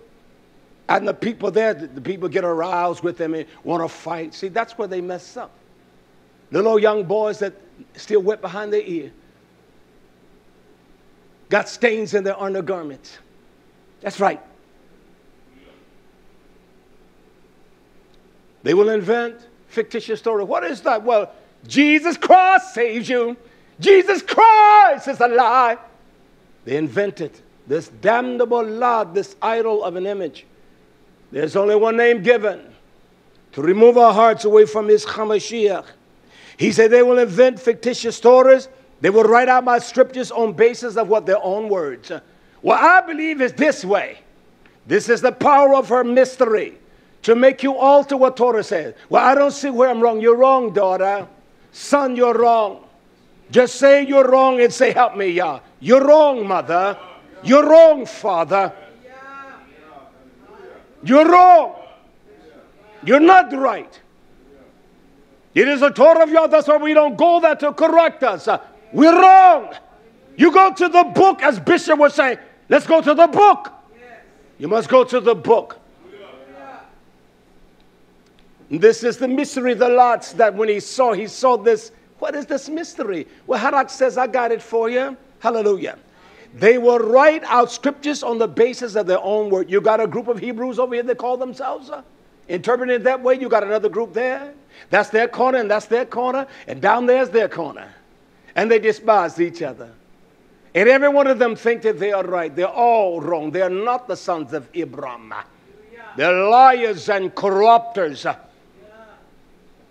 They have wrought the scriptures to their own destruction. I saw the writing uh, mystery, lot, secretive. He says, and I would that they had written down all the words truthfully. That's what Nimrod did. He said, I know what Yah says. I know giving me power. Make me ruler of the whole Olam. But I'm great. I'm mighty. See, they have not written down the words truthfully. The religious whorehouses didn't write down the words truthfully. Our Baptist whorehouses didn't write it down truthfully. Our Methodist whorehouses didn't write it down truthfully. So if there's a little leaven in it, it's not the truth, it is a whole lie. So you got to get rid of it all. You got to get rid of it all. You got to empty yourself of that untruthfulness and the lies. You got to empty yourself of the Baptist ways uh, and the Methodist ways and the Jesus Christ ways uh, that you may come into the knowledge of Torah, of truth. Hallelujah. Listen to this now. Hallelujah. They have written down all the words. They have written down, and would that they had written down all the words truthfully on the basis uh, of their own speech, own possession. Well, nobody tells me what to say, you ever heard that? I'm my own man. I'm my own woman. You don't tell me. So they've gone by their own words. And they don't even know the definitive of words. At least I will try to explain and define the words that I utilize. That's why I am a one word teacher, preacher. I don't broad or strat, straddle the stratosphere. I stay on the one thing that, that, that Yah puts in my heart to bring clarity. And if you get that clear, then the other thing will come clearer, and the other thing, and the other thing. We must get this clear. But their own speech, he said, and neither alter nor take away my word. Is that what Babel has done? See, that's why they're giving attention to the Catholic whore. Well, she has changed everything. She gave you Jesus too. She gave you the damn name of Jesus. You can say what you want to. You can say King James was a black man and he gave that. That's a damn lie. And those interpreters of the Torah knew no Jesus. They knew Jesus. Jesus is just a front. That's a modern day rendition. Hallelujah. He said there and neither alter nor take away my words, all of which I testify to them from the beginning. Yah has established is one thing that his word is forever established in the heavens. And that's what Nahash does. It began to interpret that's the power of Babel. You know that you have ascended to the summits when you began to interpret things of your own accord. There, everybody, no one is willing to sit under anyone because they know everything. That's to me, that's crazy. It's almost like a Psalm 22 telling his dad, I know what life is about. You're silly boy. It's almost like a girl with one child that she can tell mama, mama, here mama's 65, and she gonna tell mama, mama, I know about what I'm doing. You don't know a damn thing. It's amazing because in all your all your struggles, you still come back to mama. In all your trials, you gotta come back to mama, but you know my mama know, you know how to do all that. You don't know a damn thing, you foolish woman. No? You stupid bimbo. Son telling his daddy, Daddy, sit down quiet, can't talk like you, uneducated old man. But he says, Boy, I, I, I knows right, though, boy. I knows what is the best thing. His daddy, through his wisdom, have experienced uh, the plethora of onslaught of adversity in life. And you little jackass think you're going to tell him uh, he commands you to honor. I can see why people don't like that man. That's all right. You love me. It says this. I want you to hear this. He says to us in Hanak 104, verse 12, and know also another mystery. This is for you that are sadiq, to the righteous. And the wise shall Yah give the chitve, the scripture of joy. That's why on her forehead is written mystery because there is no joy in her life. There's no joy in her doctrines, her teachings, uh, her manifestos. He said, I wanted you to know another mystery that Yah's going to give his people, his nation, uh, the scripture, the chitve of joy. Of joy. He's going to give us that that we can rejoice. He's going to give us the scriptures of joy. That's what that's the mystery, see. And I saw written the mystery lots in her forehead. He saw that before he saw the other attributes. We got to deal with each attribute. Now, uh, what I'm trying to do is open the door that we can go beyond that. I could teach on this for the next two or three years, but I don't have time. He says, uh, and know another mystery. Uh, that to the righteous and the wise shall be given no fun bestowed upon them uh, the scripture of joy for truth. That's what we have the kitve for truth, uh, for truth, uh, and great, not just any kind of wisdom, but God all great wisdom, wisdom that profit, wisdom that produce, uh, wisdom that is profitable, wisdom that has uh, the manifesto of Yan Yeshua in that wisdom.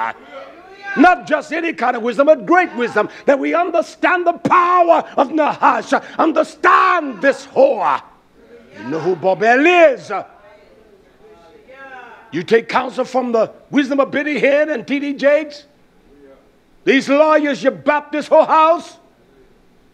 He's given us the scripture that we may have great wisdom. Not just any kind of wisdom, but great wisdom. Abundantly, rabbah, with much, with, with, with sustaining power. That even through our trials, our wisdom is so great, it causes us to sustain, to trust God, to have confidence. So then, so to them shall be given the scripture and they shall believe them. They're going to believe the scripture. See, to you is given the scripture today. You that will listen to this in whatever form, to you today the scripture is given. Uh, he said, You're going to believe them. Uh, listen, and, and all the righteous ones who learn from them the ways of truth shall rejoice. See, that's the mystery. Her Mesach written in her forehead. Also, in the forehead of Aharon, was there not uh, a, a, signet?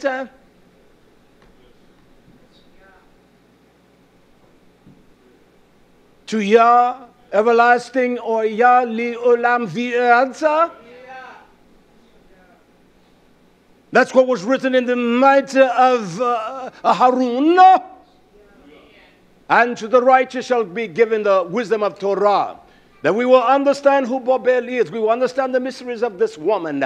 We will see her ways and her deeds. There will be men that, uh, with elocution that they can, they can teach us and show us uh, and teach precisely, line upon line, line, line, precept, precept, here little, here little, there, there. They can teach us that way. I don't ever want to have, I've never had that kind of pride uh, I can't learn. I learn from those uh, that do not speak as well as me. That's a fact. I learn from those that do not have the elocution that I have. I learn from those that do not have the poise or, or the mannerism. I don't, I don't see that mess. I see what and hear what they're saying. And I find the nuggets the truth. I don't care who it is. I always find the essence and the element and the power of truth there. And sometimes I want to write that down. Ooh, he missed that one. I want to teach that.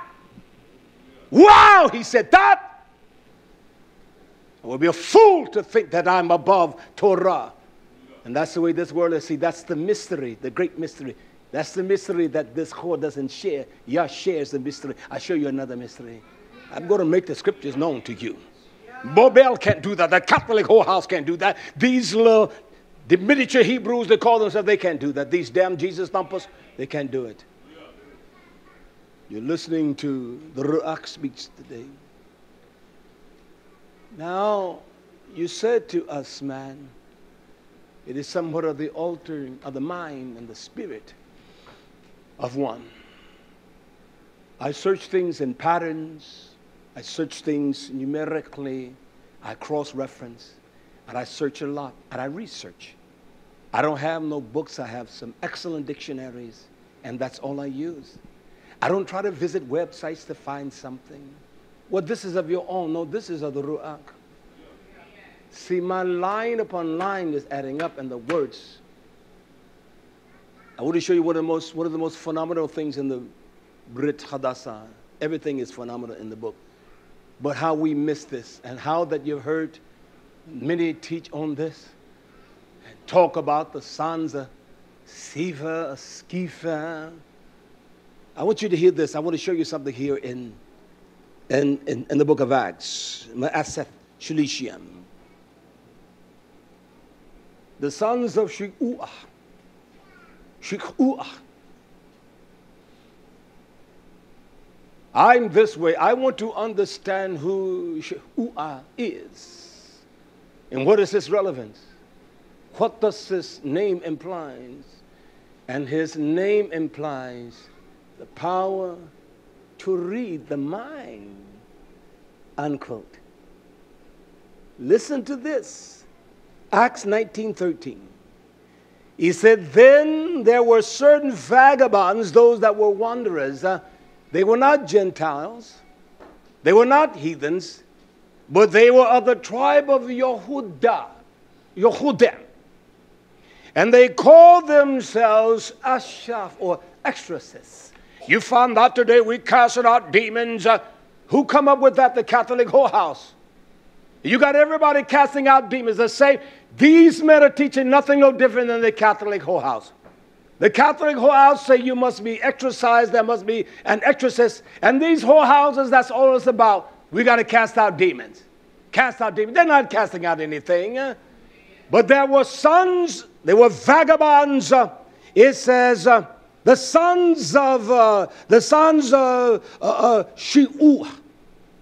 They took upon themselves uh, to call over the one that had the evil spirits, uh, the name of Yeshua saying, We adjure, we rebuke you by Yeshua HaMashiach, whom Shaul preaches.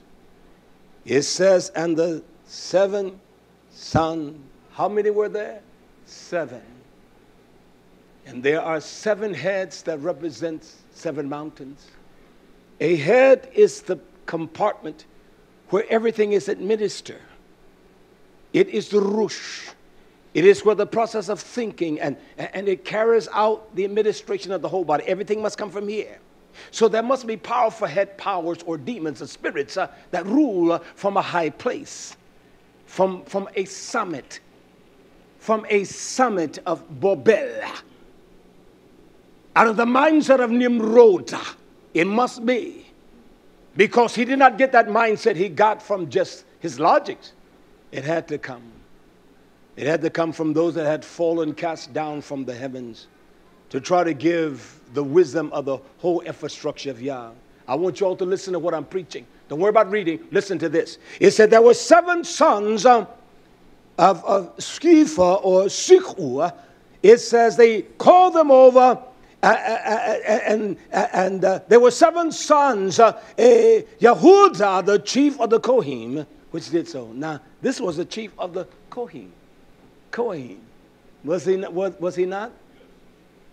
And yet he had seven unclean spirits that could read the minds of the people, knew what the people wanted. It was through the power of enchantment. And when they dealt with the real deal, they had no power to read, they had no power to, to, to, to, to, to bind. And we know what the story, what, what, the, what, the, what the account of this says how that the, the demons beat them and they beat them until they were naked. They had no covering. Our covering is Yeshua HaMashiach. What? Our minds must be covered. Our mind must be covered by Torah. And you will never come to the power of the knowledge of the Torah unless you have the ability to hear. You see that? Many of you, all, that's why I don't like to tell you what. You, you want to sit here, you want to read instead of hear. The emunah comes by hearing. It doesn't come by reading. You got to hear. He that have ear, let him hear what the Ruach says. You understand? You want to read and you have got no knowledge in all of your reading. Uh, it's time that you began to hear and listen to what the messenger says. That's your problem. You've read it as some kind of story. I bring the revelation of it. These are the sons that altered the minds of those of, of Yehuda. He was a chief Kohan. He was a messenger. He was the one that wore the mitre just like a Harun. And you think that you have the mitre. You think that your wisdom is pronounced and you're smart and you're wise. We must hear. We must shemach. Wasted time reading. You haven't produced nothing. Hear. Hear. Hear. Hear. Call Yisrael. Yah is Ikah. That's is the first commandment. Hear the voice of Yah. You must learn how to hear, man. You older ones, you better learn how to start hearing. You better start learning how to hear. That's your problem. That's why you will never progress. Stop your reading out there. Put it down. Just listen. And then you go back and you examine what I said. Sit down at night with mama and dad. Read that thing again.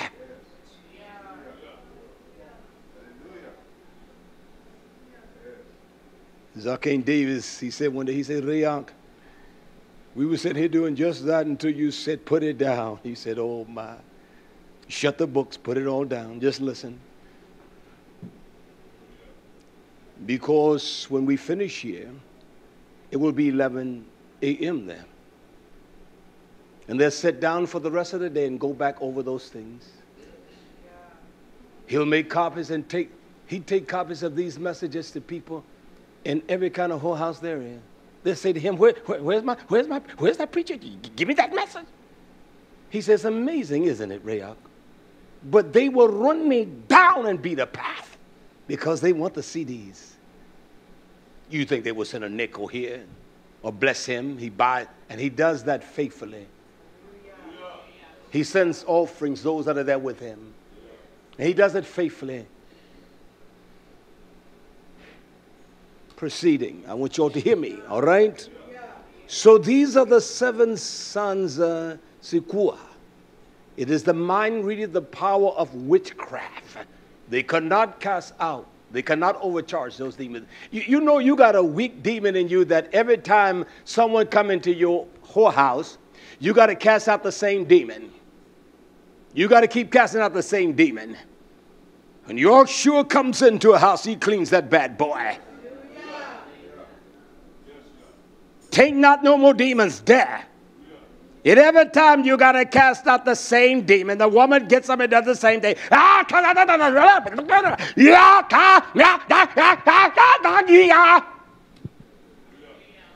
I mean, as a young boy, we seen the movie Exorcist. That heifer was spitting out everything out of her mouth. Nasty cow. Nasty old thing. You see the same thing in these whorehouses. Something gets wrong with you. You got all this spew coming out of you. It's a nasty spirit. Your Jesus is nasty. Nasty thing like that. It doesn't come out of me like that.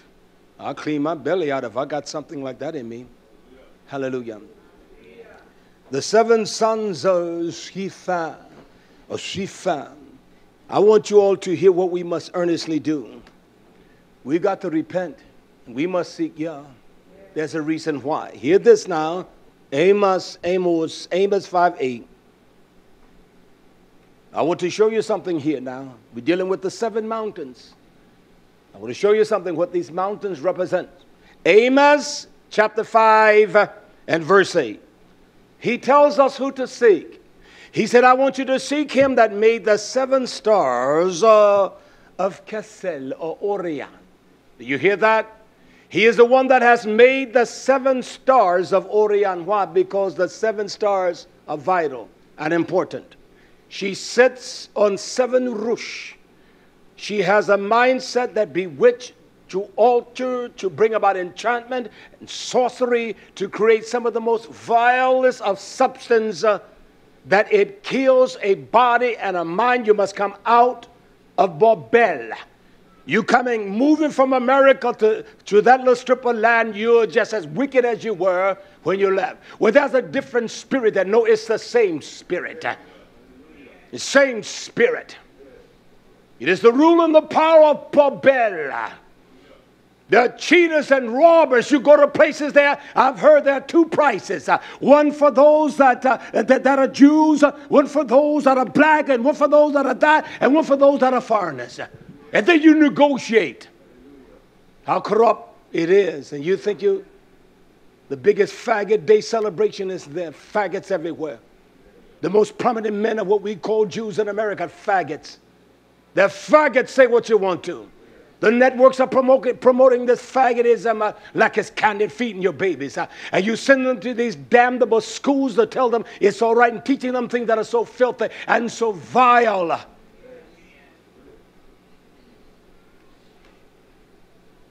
My days, you never heard of a teacher raping the children.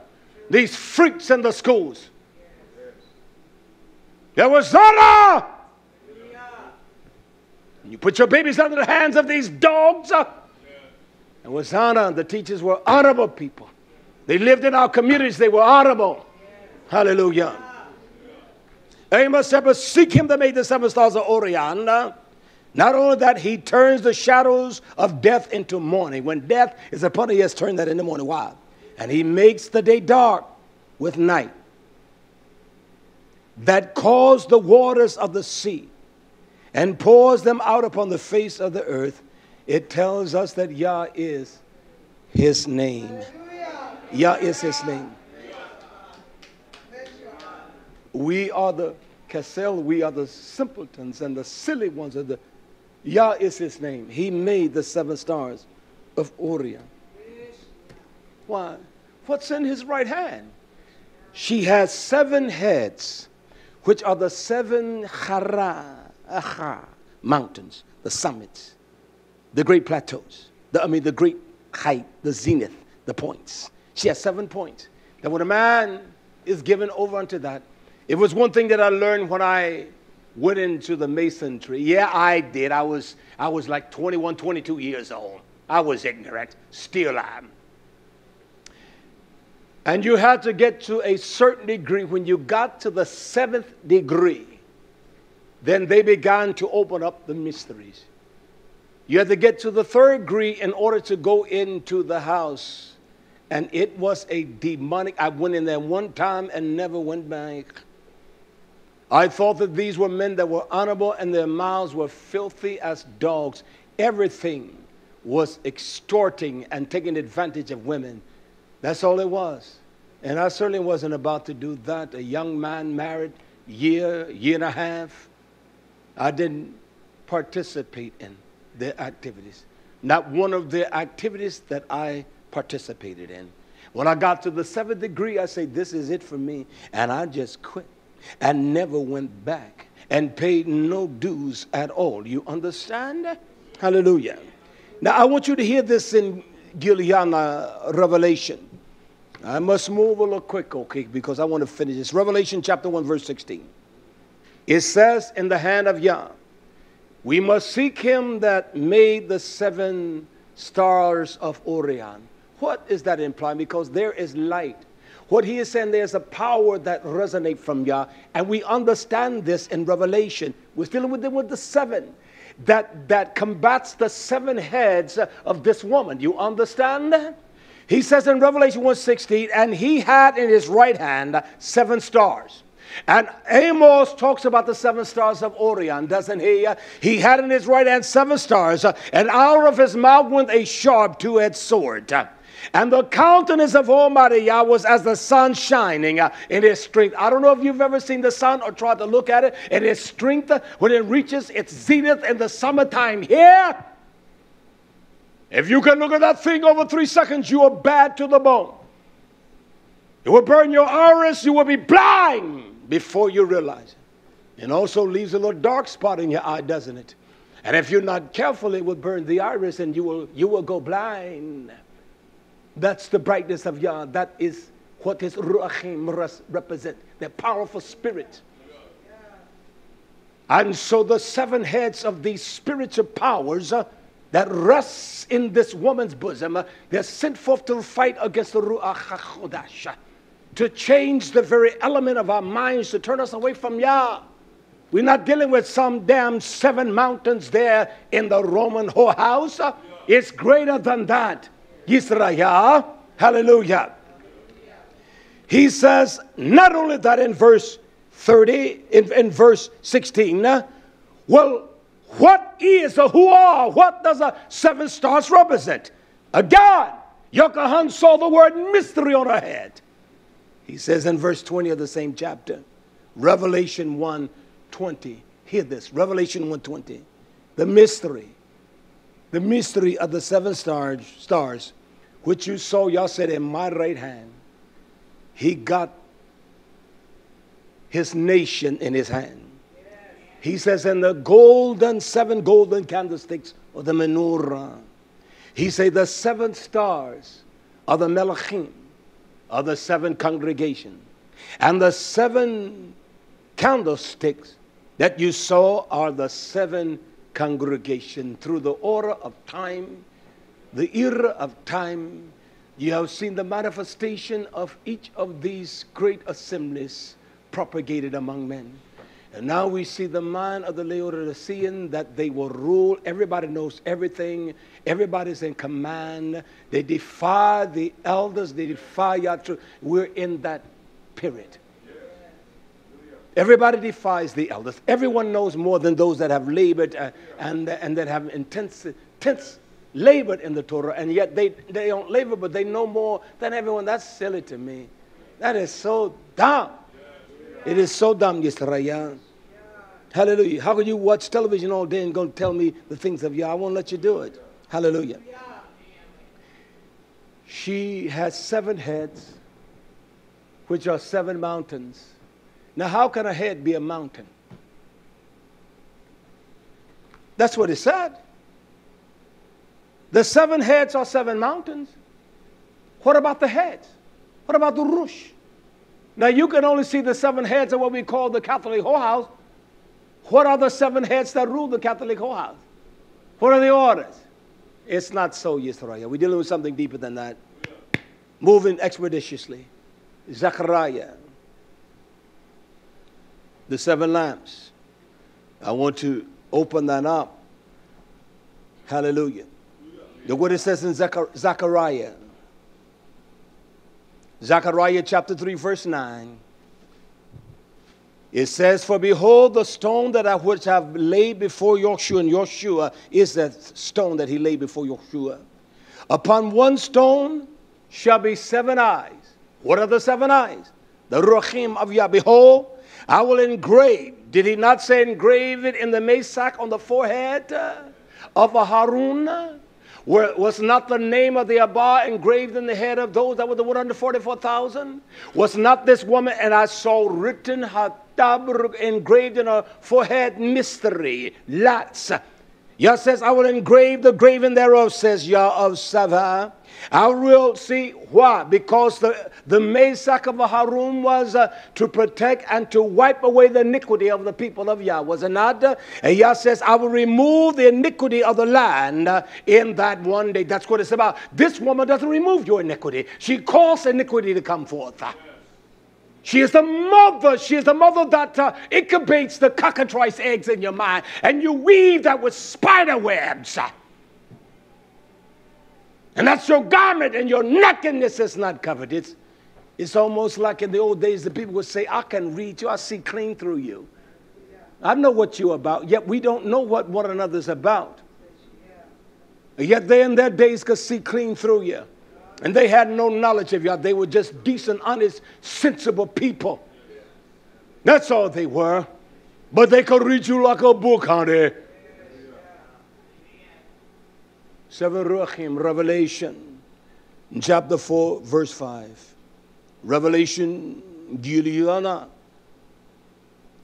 And out of the throne of Almighty Yah, Revelation, chapter 4, verse 5, there was this great power of lightning and this thunderous, powerful sound of voices. It did not say voice, does it? Voices voices. Whole, the substance of Yah. He said, and there were seven lamps of fire burning before the throne. There were seven lights of fire burning before the Kase of Yah, which are, which are the seven Ruachim, the seven spirits of Almighty Yahweh. Seven and her rush upon her head, at her head, at her head, and here's the minor wisdom the seven heads are seven chara, which the woman sits on. And before the Kaseh of Yah was the seven ruachim. There, there are certain characteristics of this kingdom that she sits upon them. She, Yoshab, she doesn't change it for anyone. I don't care for your babies, for you. You will kill your baby before she changes. That's what she says. She dwells there. There are seven principles. They're not principles, but I use that to give us understand. There are seven rules of her law. There are seven rules of her law that she will not alter that. She doesn't change that for anyone. There are laws in our minds. We say, I ain't changing for nobody. Ain't nobody gonna make me change. I believe it. It's that's it, baby. You can't tell me. I knows the loud. Ours ain't not gonna change. You ever heard that? I have. Hallelujah. You can cry until you, there are no tears in your tear duct. Hallelujah. These are the seven ru'achim of Yah. So she presents a head is where what dwells? Knowledge, wisdom, and understanding. It says that her head, her rush, are seven mountains. She must try to emulate and falsify her ways to present unto the nation Yisrael a superficial order that we will be drawn unto that thinking that we're following the Most High. Here is the mind of wisdom. What is the mind of wisdom? What is the composition of the mind of wisdom? Do we know that? I'll show us, all right? Hallelujah. There's seven powerful principles of the mind of wisdom. It says under the mandate of Shlomo Mishli, Proverbs 9 1, Proverbs 9 1, Proverbs 9 1, it says, Hukma wisdom. This is how wisdom build the strength and the bed. Wisdom has built her house. This is what she has done. She has hewn, she has, uh, she has shapen seven pillars uh, or amuds. She has shapen the seven pillars. She sits upon seven mountains. She has seven pillars of her wisdom. That's what it's about. That we must come out of her wisdom, Yisraya. Her amun. What are the seven pillars of Yah's wisdom? is found easily here in the book of Yaakov, in the Brit Hadashah. James, James, oh, I will make show you the end of this for today. It will all make sense. Listen to it again. Yaakov, chapter 3, verse 17. It said, but the wisdom, uh, it says seven pillars, right? But the wisdom, James 3:17, but the wisdom that is from above is first pure See, when a man speaks of the pure wisdom of Yah, when a man has the purity of Yah's sadiq in him, that is the first sign of wisdom. A man is pure. You can see a clean man. You, you know a man that is clean. He's pure in his heart. Is first of all pure, then it's full of shalom. It's peaceable. It is very gentle. It understands what we need. You think that because a mother spanks that child, she's not gentle? Does Yah correct us with the rod of correction? Is he gentle? Is he gentle? You tell me because you spank your daughter because you love her, that doesn't mean that you're not gentle. She is still gentle. We think of gentleness, gentleness as being someone that is passive. I'm not passive.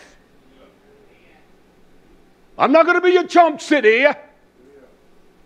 It is easily to be intrigued. If a man wants wisdom, it is easy to understand. See, that's what this whole, her seven rush are the seven hills. And so she intriguing the people. Well, you, you on your own, you could speak what's on your mind. You don't need no man. That's part of the principles of the liars. Uh, you don't need no man to show you. Ah, I'm so glad Yeshua has shown me the way. It says that wisdom is full of raham, full of compassion. Are we truly full of compassion? I know you think you're full of compassion. It is full. It is full of compassion. These are the seven pillars of wisdom.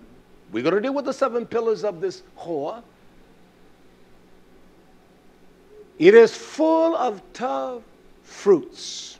Not just fruit, but fruit. Love and kindness and meekness, gentleness is full of tough fruit. You're not full of fruit, daughters and sons of Israel. When the least little old thing, you get so angry you can't get over your hostility. Anger, but sin not. I raise my voice, man, let's get this done. I don't care who it's with. Yo, Wasadak and I, we got work to do tomorrow. I probably have to hit him up two or three. Come on, big man. Let's get on the ball, baby. Come on now. Have all day. That's how I talk.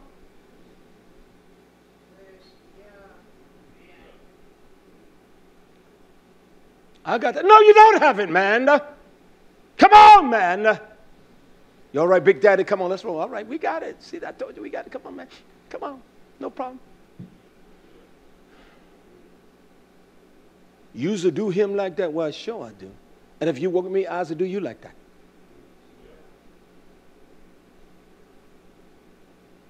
I work, I'm a monster. I know exactly how long it takes anything. I can look at anything and tell you exactly how long it's going to take. I don't care what it is, I can tell you how long it's going to take. I don't care what it is, I can tell you how long it's going to take. I know how long it's going to take. I have learned that through experience and over the years. From the beginning, I can tell if we do that, I know it should take us a day, but I give us three days to do that. Do that. 1,500 blocks. It should be a week. I'll give us a week, although we can do it in two days, three days, depends on how we feel. I know how long it's going to take you to do the rafters and the roof. I know all of that. How do you know that? You think that people, when they build, they don't know how long it's going to take? You, you tell me you're going to bid for a job and not knowing how long it's going to take to do it? That's silly. I want to finish up here.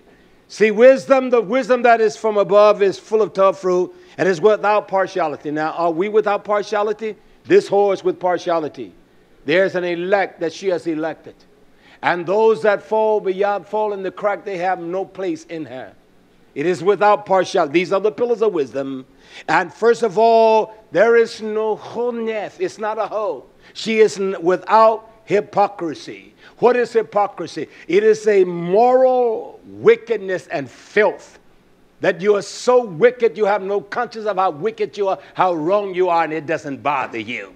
And the only thing you say, well, I just did wrong and I do, I do right the next time. You are morally wicked. You are, you are depraved in your damn wicked mind. That's what she has done. That's what the seven spirits of Sceva, it has bewitched and altered the thinking of the mind. It, it, it alters the mind. It bewitches the mind. It trains the mind. It has rule over the mind. Yah doesn't put these words in the book uh, just for anything. Uh, he wants us to understand what they are, and we must labor to understand what the words mean. Uh, you can read all day long, that doesn't mean you understand. I'd rather read one Kethuv in one night to understand that than to read 50 and don't understand anything because I can build upon that foundation. Hallelujah, hallelujah. These are the seven pillars of, of, of, of, of, of, of, of the wisdom of Yah.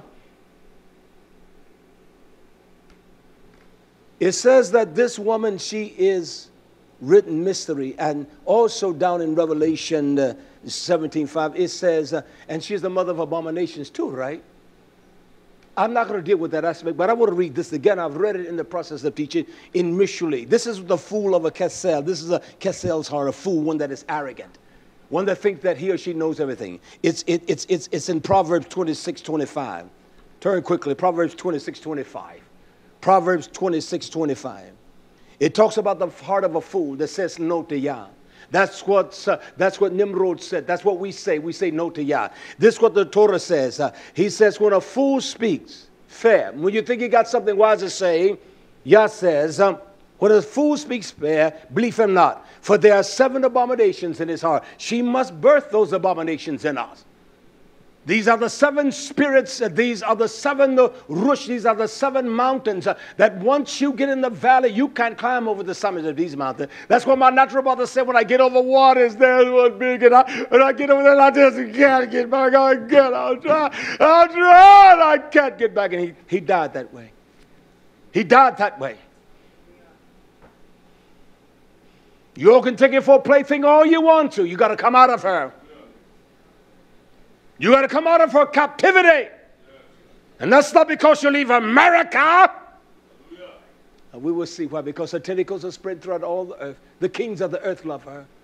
The kingdoms are based upon her principles.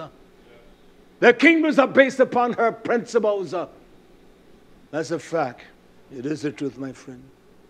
Hallelujah. Hallelujah. I want to deal with this for a moment before I close today. It says in Revelation 17:5, we see what's written in her forehead. And she is Babel the Great. I've emphasized that somewhat decently. But it says that she is the mother of harlots. I want to teach on that a little. To show you the nature of a harlot. She is the mother of harlots. Bobel, she has the summit. The Rosh it sits at the zenith of one's physicality, doesn't it? Your head is at the top, not at the bottom. This is the summit. This is your Rosh. And the heads are seven mountains, and seven powerful, who show them that rules in every kingdom. I want to emphasize the spirit that she birthed in the hearts of the nation of men. And how that these seven spirits, these cockatrice eggs, that we weave with spider webs and they loom, they loom higher. We become so arrogant that we exude ourselves above Yah. We buy into our own lies, Yisrael. We don't do things that are just and, and righteous before Almighty Yah in Yeshua HaMashiach. She is a mother of harlotry. Again, I want to revisit Yeshaya, Isaiah. I want to show you that the power of the strongest pillar of her, of her kingdom, just like the Ruach HaKodesh, that is the breath of the seven Ruachim. And so in her kingdom, as it is in her kingdom, there are there is a summit that perch, perches of all the other summits. What do you mean? Well, if I stand beside these men, they're taller than me. And those that I've stand beside Abner, I'm taller than him. So he has to look up. So I have to look up to them because they're taller than me. Stand before them and they're taller than me. And so there is a pinnacle or a summit the highest part of that, that little peak. You know, these world tallest buildings, it's not that the building is actually that tall. They will put a tower up there. And there are towers that radiate her nature, her character, come out of her, my people. It says this here in Yeshaya, quickly, Isaiah chapter 1. Isaiah, he speaks of the condition of Yehuda, the state of his nation here in Isaiah chapter 1, verse 21. Listen to this now. She is the mother of harlotry. Is that what she is? Now look at the state, look at our state as well. It says, How is a faithful city become a harlot? We were a faithful city. We are, Benjamin says it like this we're a city that's set upon a hill. And so King Benjamin, does he not? He say that all the time? He says the same thing. He says the same thing. Yah says the same thing too. Yeah, we should be like a city set up on the hill. We got a light that can't be hid. It says, How have we, as a faithful city, singular, not cities, as a city, become a zana? You become an occult prostitute. You sell Yah for lies. You sell him for your own emotions. You sell him for your own sensation of your flesh. You're so wicked. You, that's what a zana is. You're unfaithful to Yah. You have become a prostitute of your own temple. No, you're not. Your body is the temple or the place where the Ruach HaKodesh dwell. You have become a temple prostitute with your idolatry and your idols and your false, superficial, damnable worship. He said, You are a city that was full of judgment. You must have judgment in a city. We must judge ourselves that we will have no need to be judged. And we don't judge no one. And he said, We're Sadiq of the righteousness of Yah lodged in it. He says, But now there's nothing but Rosach, murderers, that dwells there. What kind of murderers? I've never killed anyone, but I've killed a many of men. Well, I don't want to say it like that. I've killed. If any of us hate sonner our ach, achotchim, without a cause, achim, without a cause, you are a murderer. You are a murderer. And we have despised the fellowship. That's why we must come out of her. When they fell down from that tower, no one even took a breath to look because they, you didn't even hear the cry when they hit the bottom. You didn't even hear the cry when they hit the bottom. It was like a little pebble as they went further. You didn't even see. It was nothing there. But when a brick fell, they cried. They mourned. They cried for that, Yisrael. Verse 22, he said, Your silver has become siege. Your great silver or your faith that has been tried, it has begun to move back. It has become dross. Your wine is mixed with water. There is no pure wine. There is no wine in your, in your skin. You've tried to put the new wine in the old ways and the Baptist ways and your damn Jesus ways. It's not going to work. You try to put the new wine in old skins and the skin is breaking. I can't handle that what he says. I don't like what he says. You're trying to put this new wine in the bottle, in the vessel, in a temple where we are prostitutes and whores, uh, and we sell ourselves uh, away from Yah for some kind of uh, illusion and trinket. He said, Your leaders, your princes, they are sarah, they're rebellious, they're obstinate, they oppose Yah. We that call ourselves leaders, we are rebellious against Yah. Your mothers are rebellious, your father he said, and we have joined ourselves to the companion of Ghana of thieves. He says, everyone loves a gift. They love brides. We're going to have, quote, pastor's appreciation. We're going to have First Lady's Day. We're going to have a day of offering for the pastor. We're going to have the Mother's Day to give mothers of everybody loves gifts. Send an offering and a gift today, you that are listening. He said, everybody love gifts. Everybody. Listen, they love the bribes and they follow after reward. Did we not hear Isaac King preach on the, the payday? He said, I want to hear the next part of that. He said he's going to teach on the. He says they have become in Isaiah 123. He said they do not even defend the fatherless in the latter part of that verse. Neither does the cause of the widows concern. They don't care about those that have been afflicted. They don't even care. You think that TDJ care about those that are having it rough? He's going to tell them you're not praying right. You're not giving enough. Give when you can't give that. You're a wicked dog. You're a fat beast. You're a child of hell. Why don't you give? Why don't you create situations for the young poor women and, and assist and help and, and put a center that where they can be educated and teach them uh, skill sets and all of that? Why don't you do that? Oh, I know they what they do in those whole houses, but I'm saying let's get real. Where they'll have the obligation of, of, of the bills and all that. Bring all, no, no, bring your money here. We're going to save somebody. We're going to get you right. They're not going to do that. Quickly, verse 24. Therefore, says the sovereign of hosts, the mighty one of Israel, ah! Yah says, I'm going to ease, I'm going to comfort myself. I'm going to comfort me, oh my adversary. He says, I'm going to take comfort in those that are adverse to me, my adversary. He said, and avenge me. I'm going to make my name right. And avenge me of my enemies, my oye. Listen to what he says. He says, that I will turn my right hand upon you. The seven ruachim, the seven spirits, the seven swords of Yah. He said, I will turn my right hand and purely purge away. He's talking to this nation, your dross. And take away all of your tin. This is a metaphor here. He said, I'm going to take away all of your substance of your metals that cause you, your, your iron to be strong and for you to be strong. I'm going to take away all of your tin. How are you going to do that, Yah? He says, and I will restore the shoftim or the shofat. He said, I'm going to restore your judges as at first. He says, and also your yaits, your counselors, as at the beginning. Afterwards, you shall be called the city of righteousness and a faithful city. That's the only way we're going to get back to that point. He must restore the power of judging among us. He must do that. He must restore the uh, it's the council, those that will show us you're wicked, you're wrong, and you're just not right, baby girl.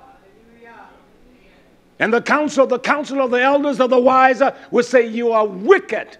Now you don't say he is wicked. You don't say she's wicked because you're wicked, and you're afraid because she knows your wickedness. He knows your wickedness. I don't play with men.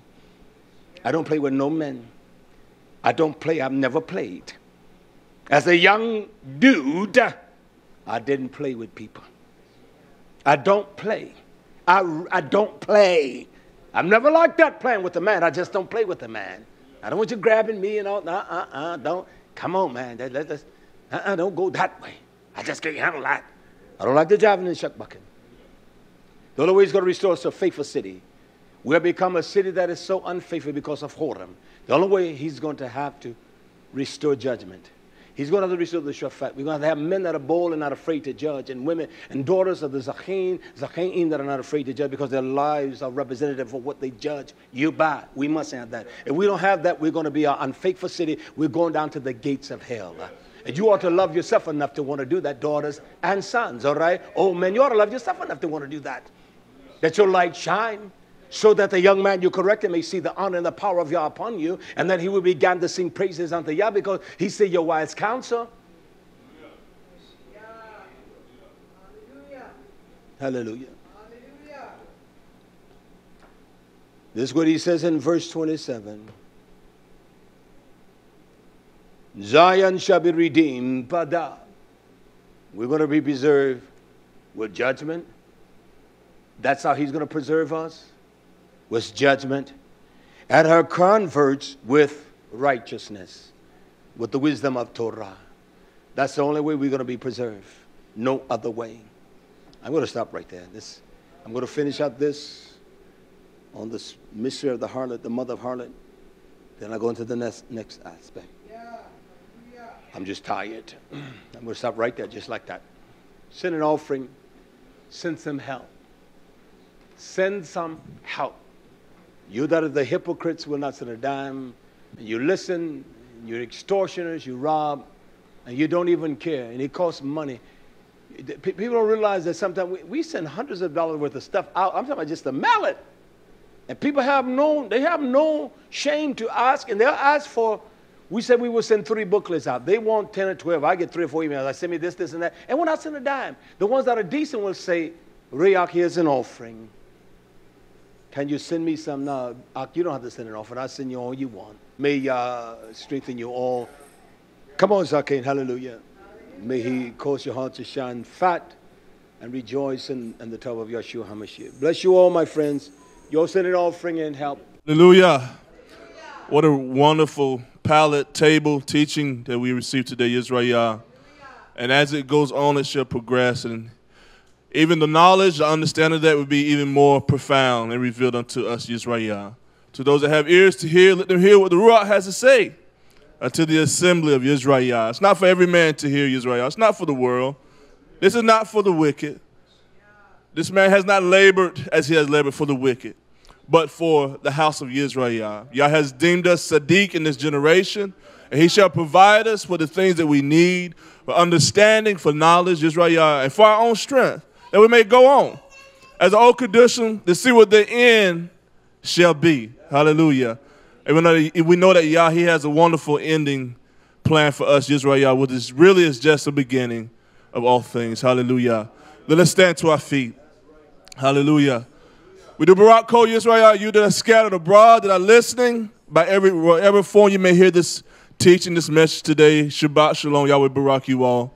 Abba Yahweh, we do total you for this another day you have given us. Abba Yahweh is beautiful. We know that the sun has risen, Abba Yahweh, but even if it was cloudy outside, Abba Yahweh, yet your Ruach HaKodesh is poured out upon Kol Yisrael, and the Dama Yahshua has been applied. We do give you Torah for all things. We ask that those that have come, Abba Yahweh, to be with us, near and afar, those that have gathered in their homes today, Abba Yahweh, that you would take them home safely.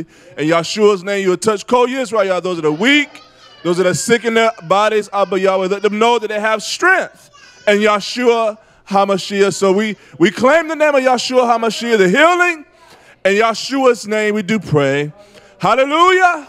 Hallelujah. Hallelujah. Shabbat Shalom. Kol Yisrael. Hallelujah.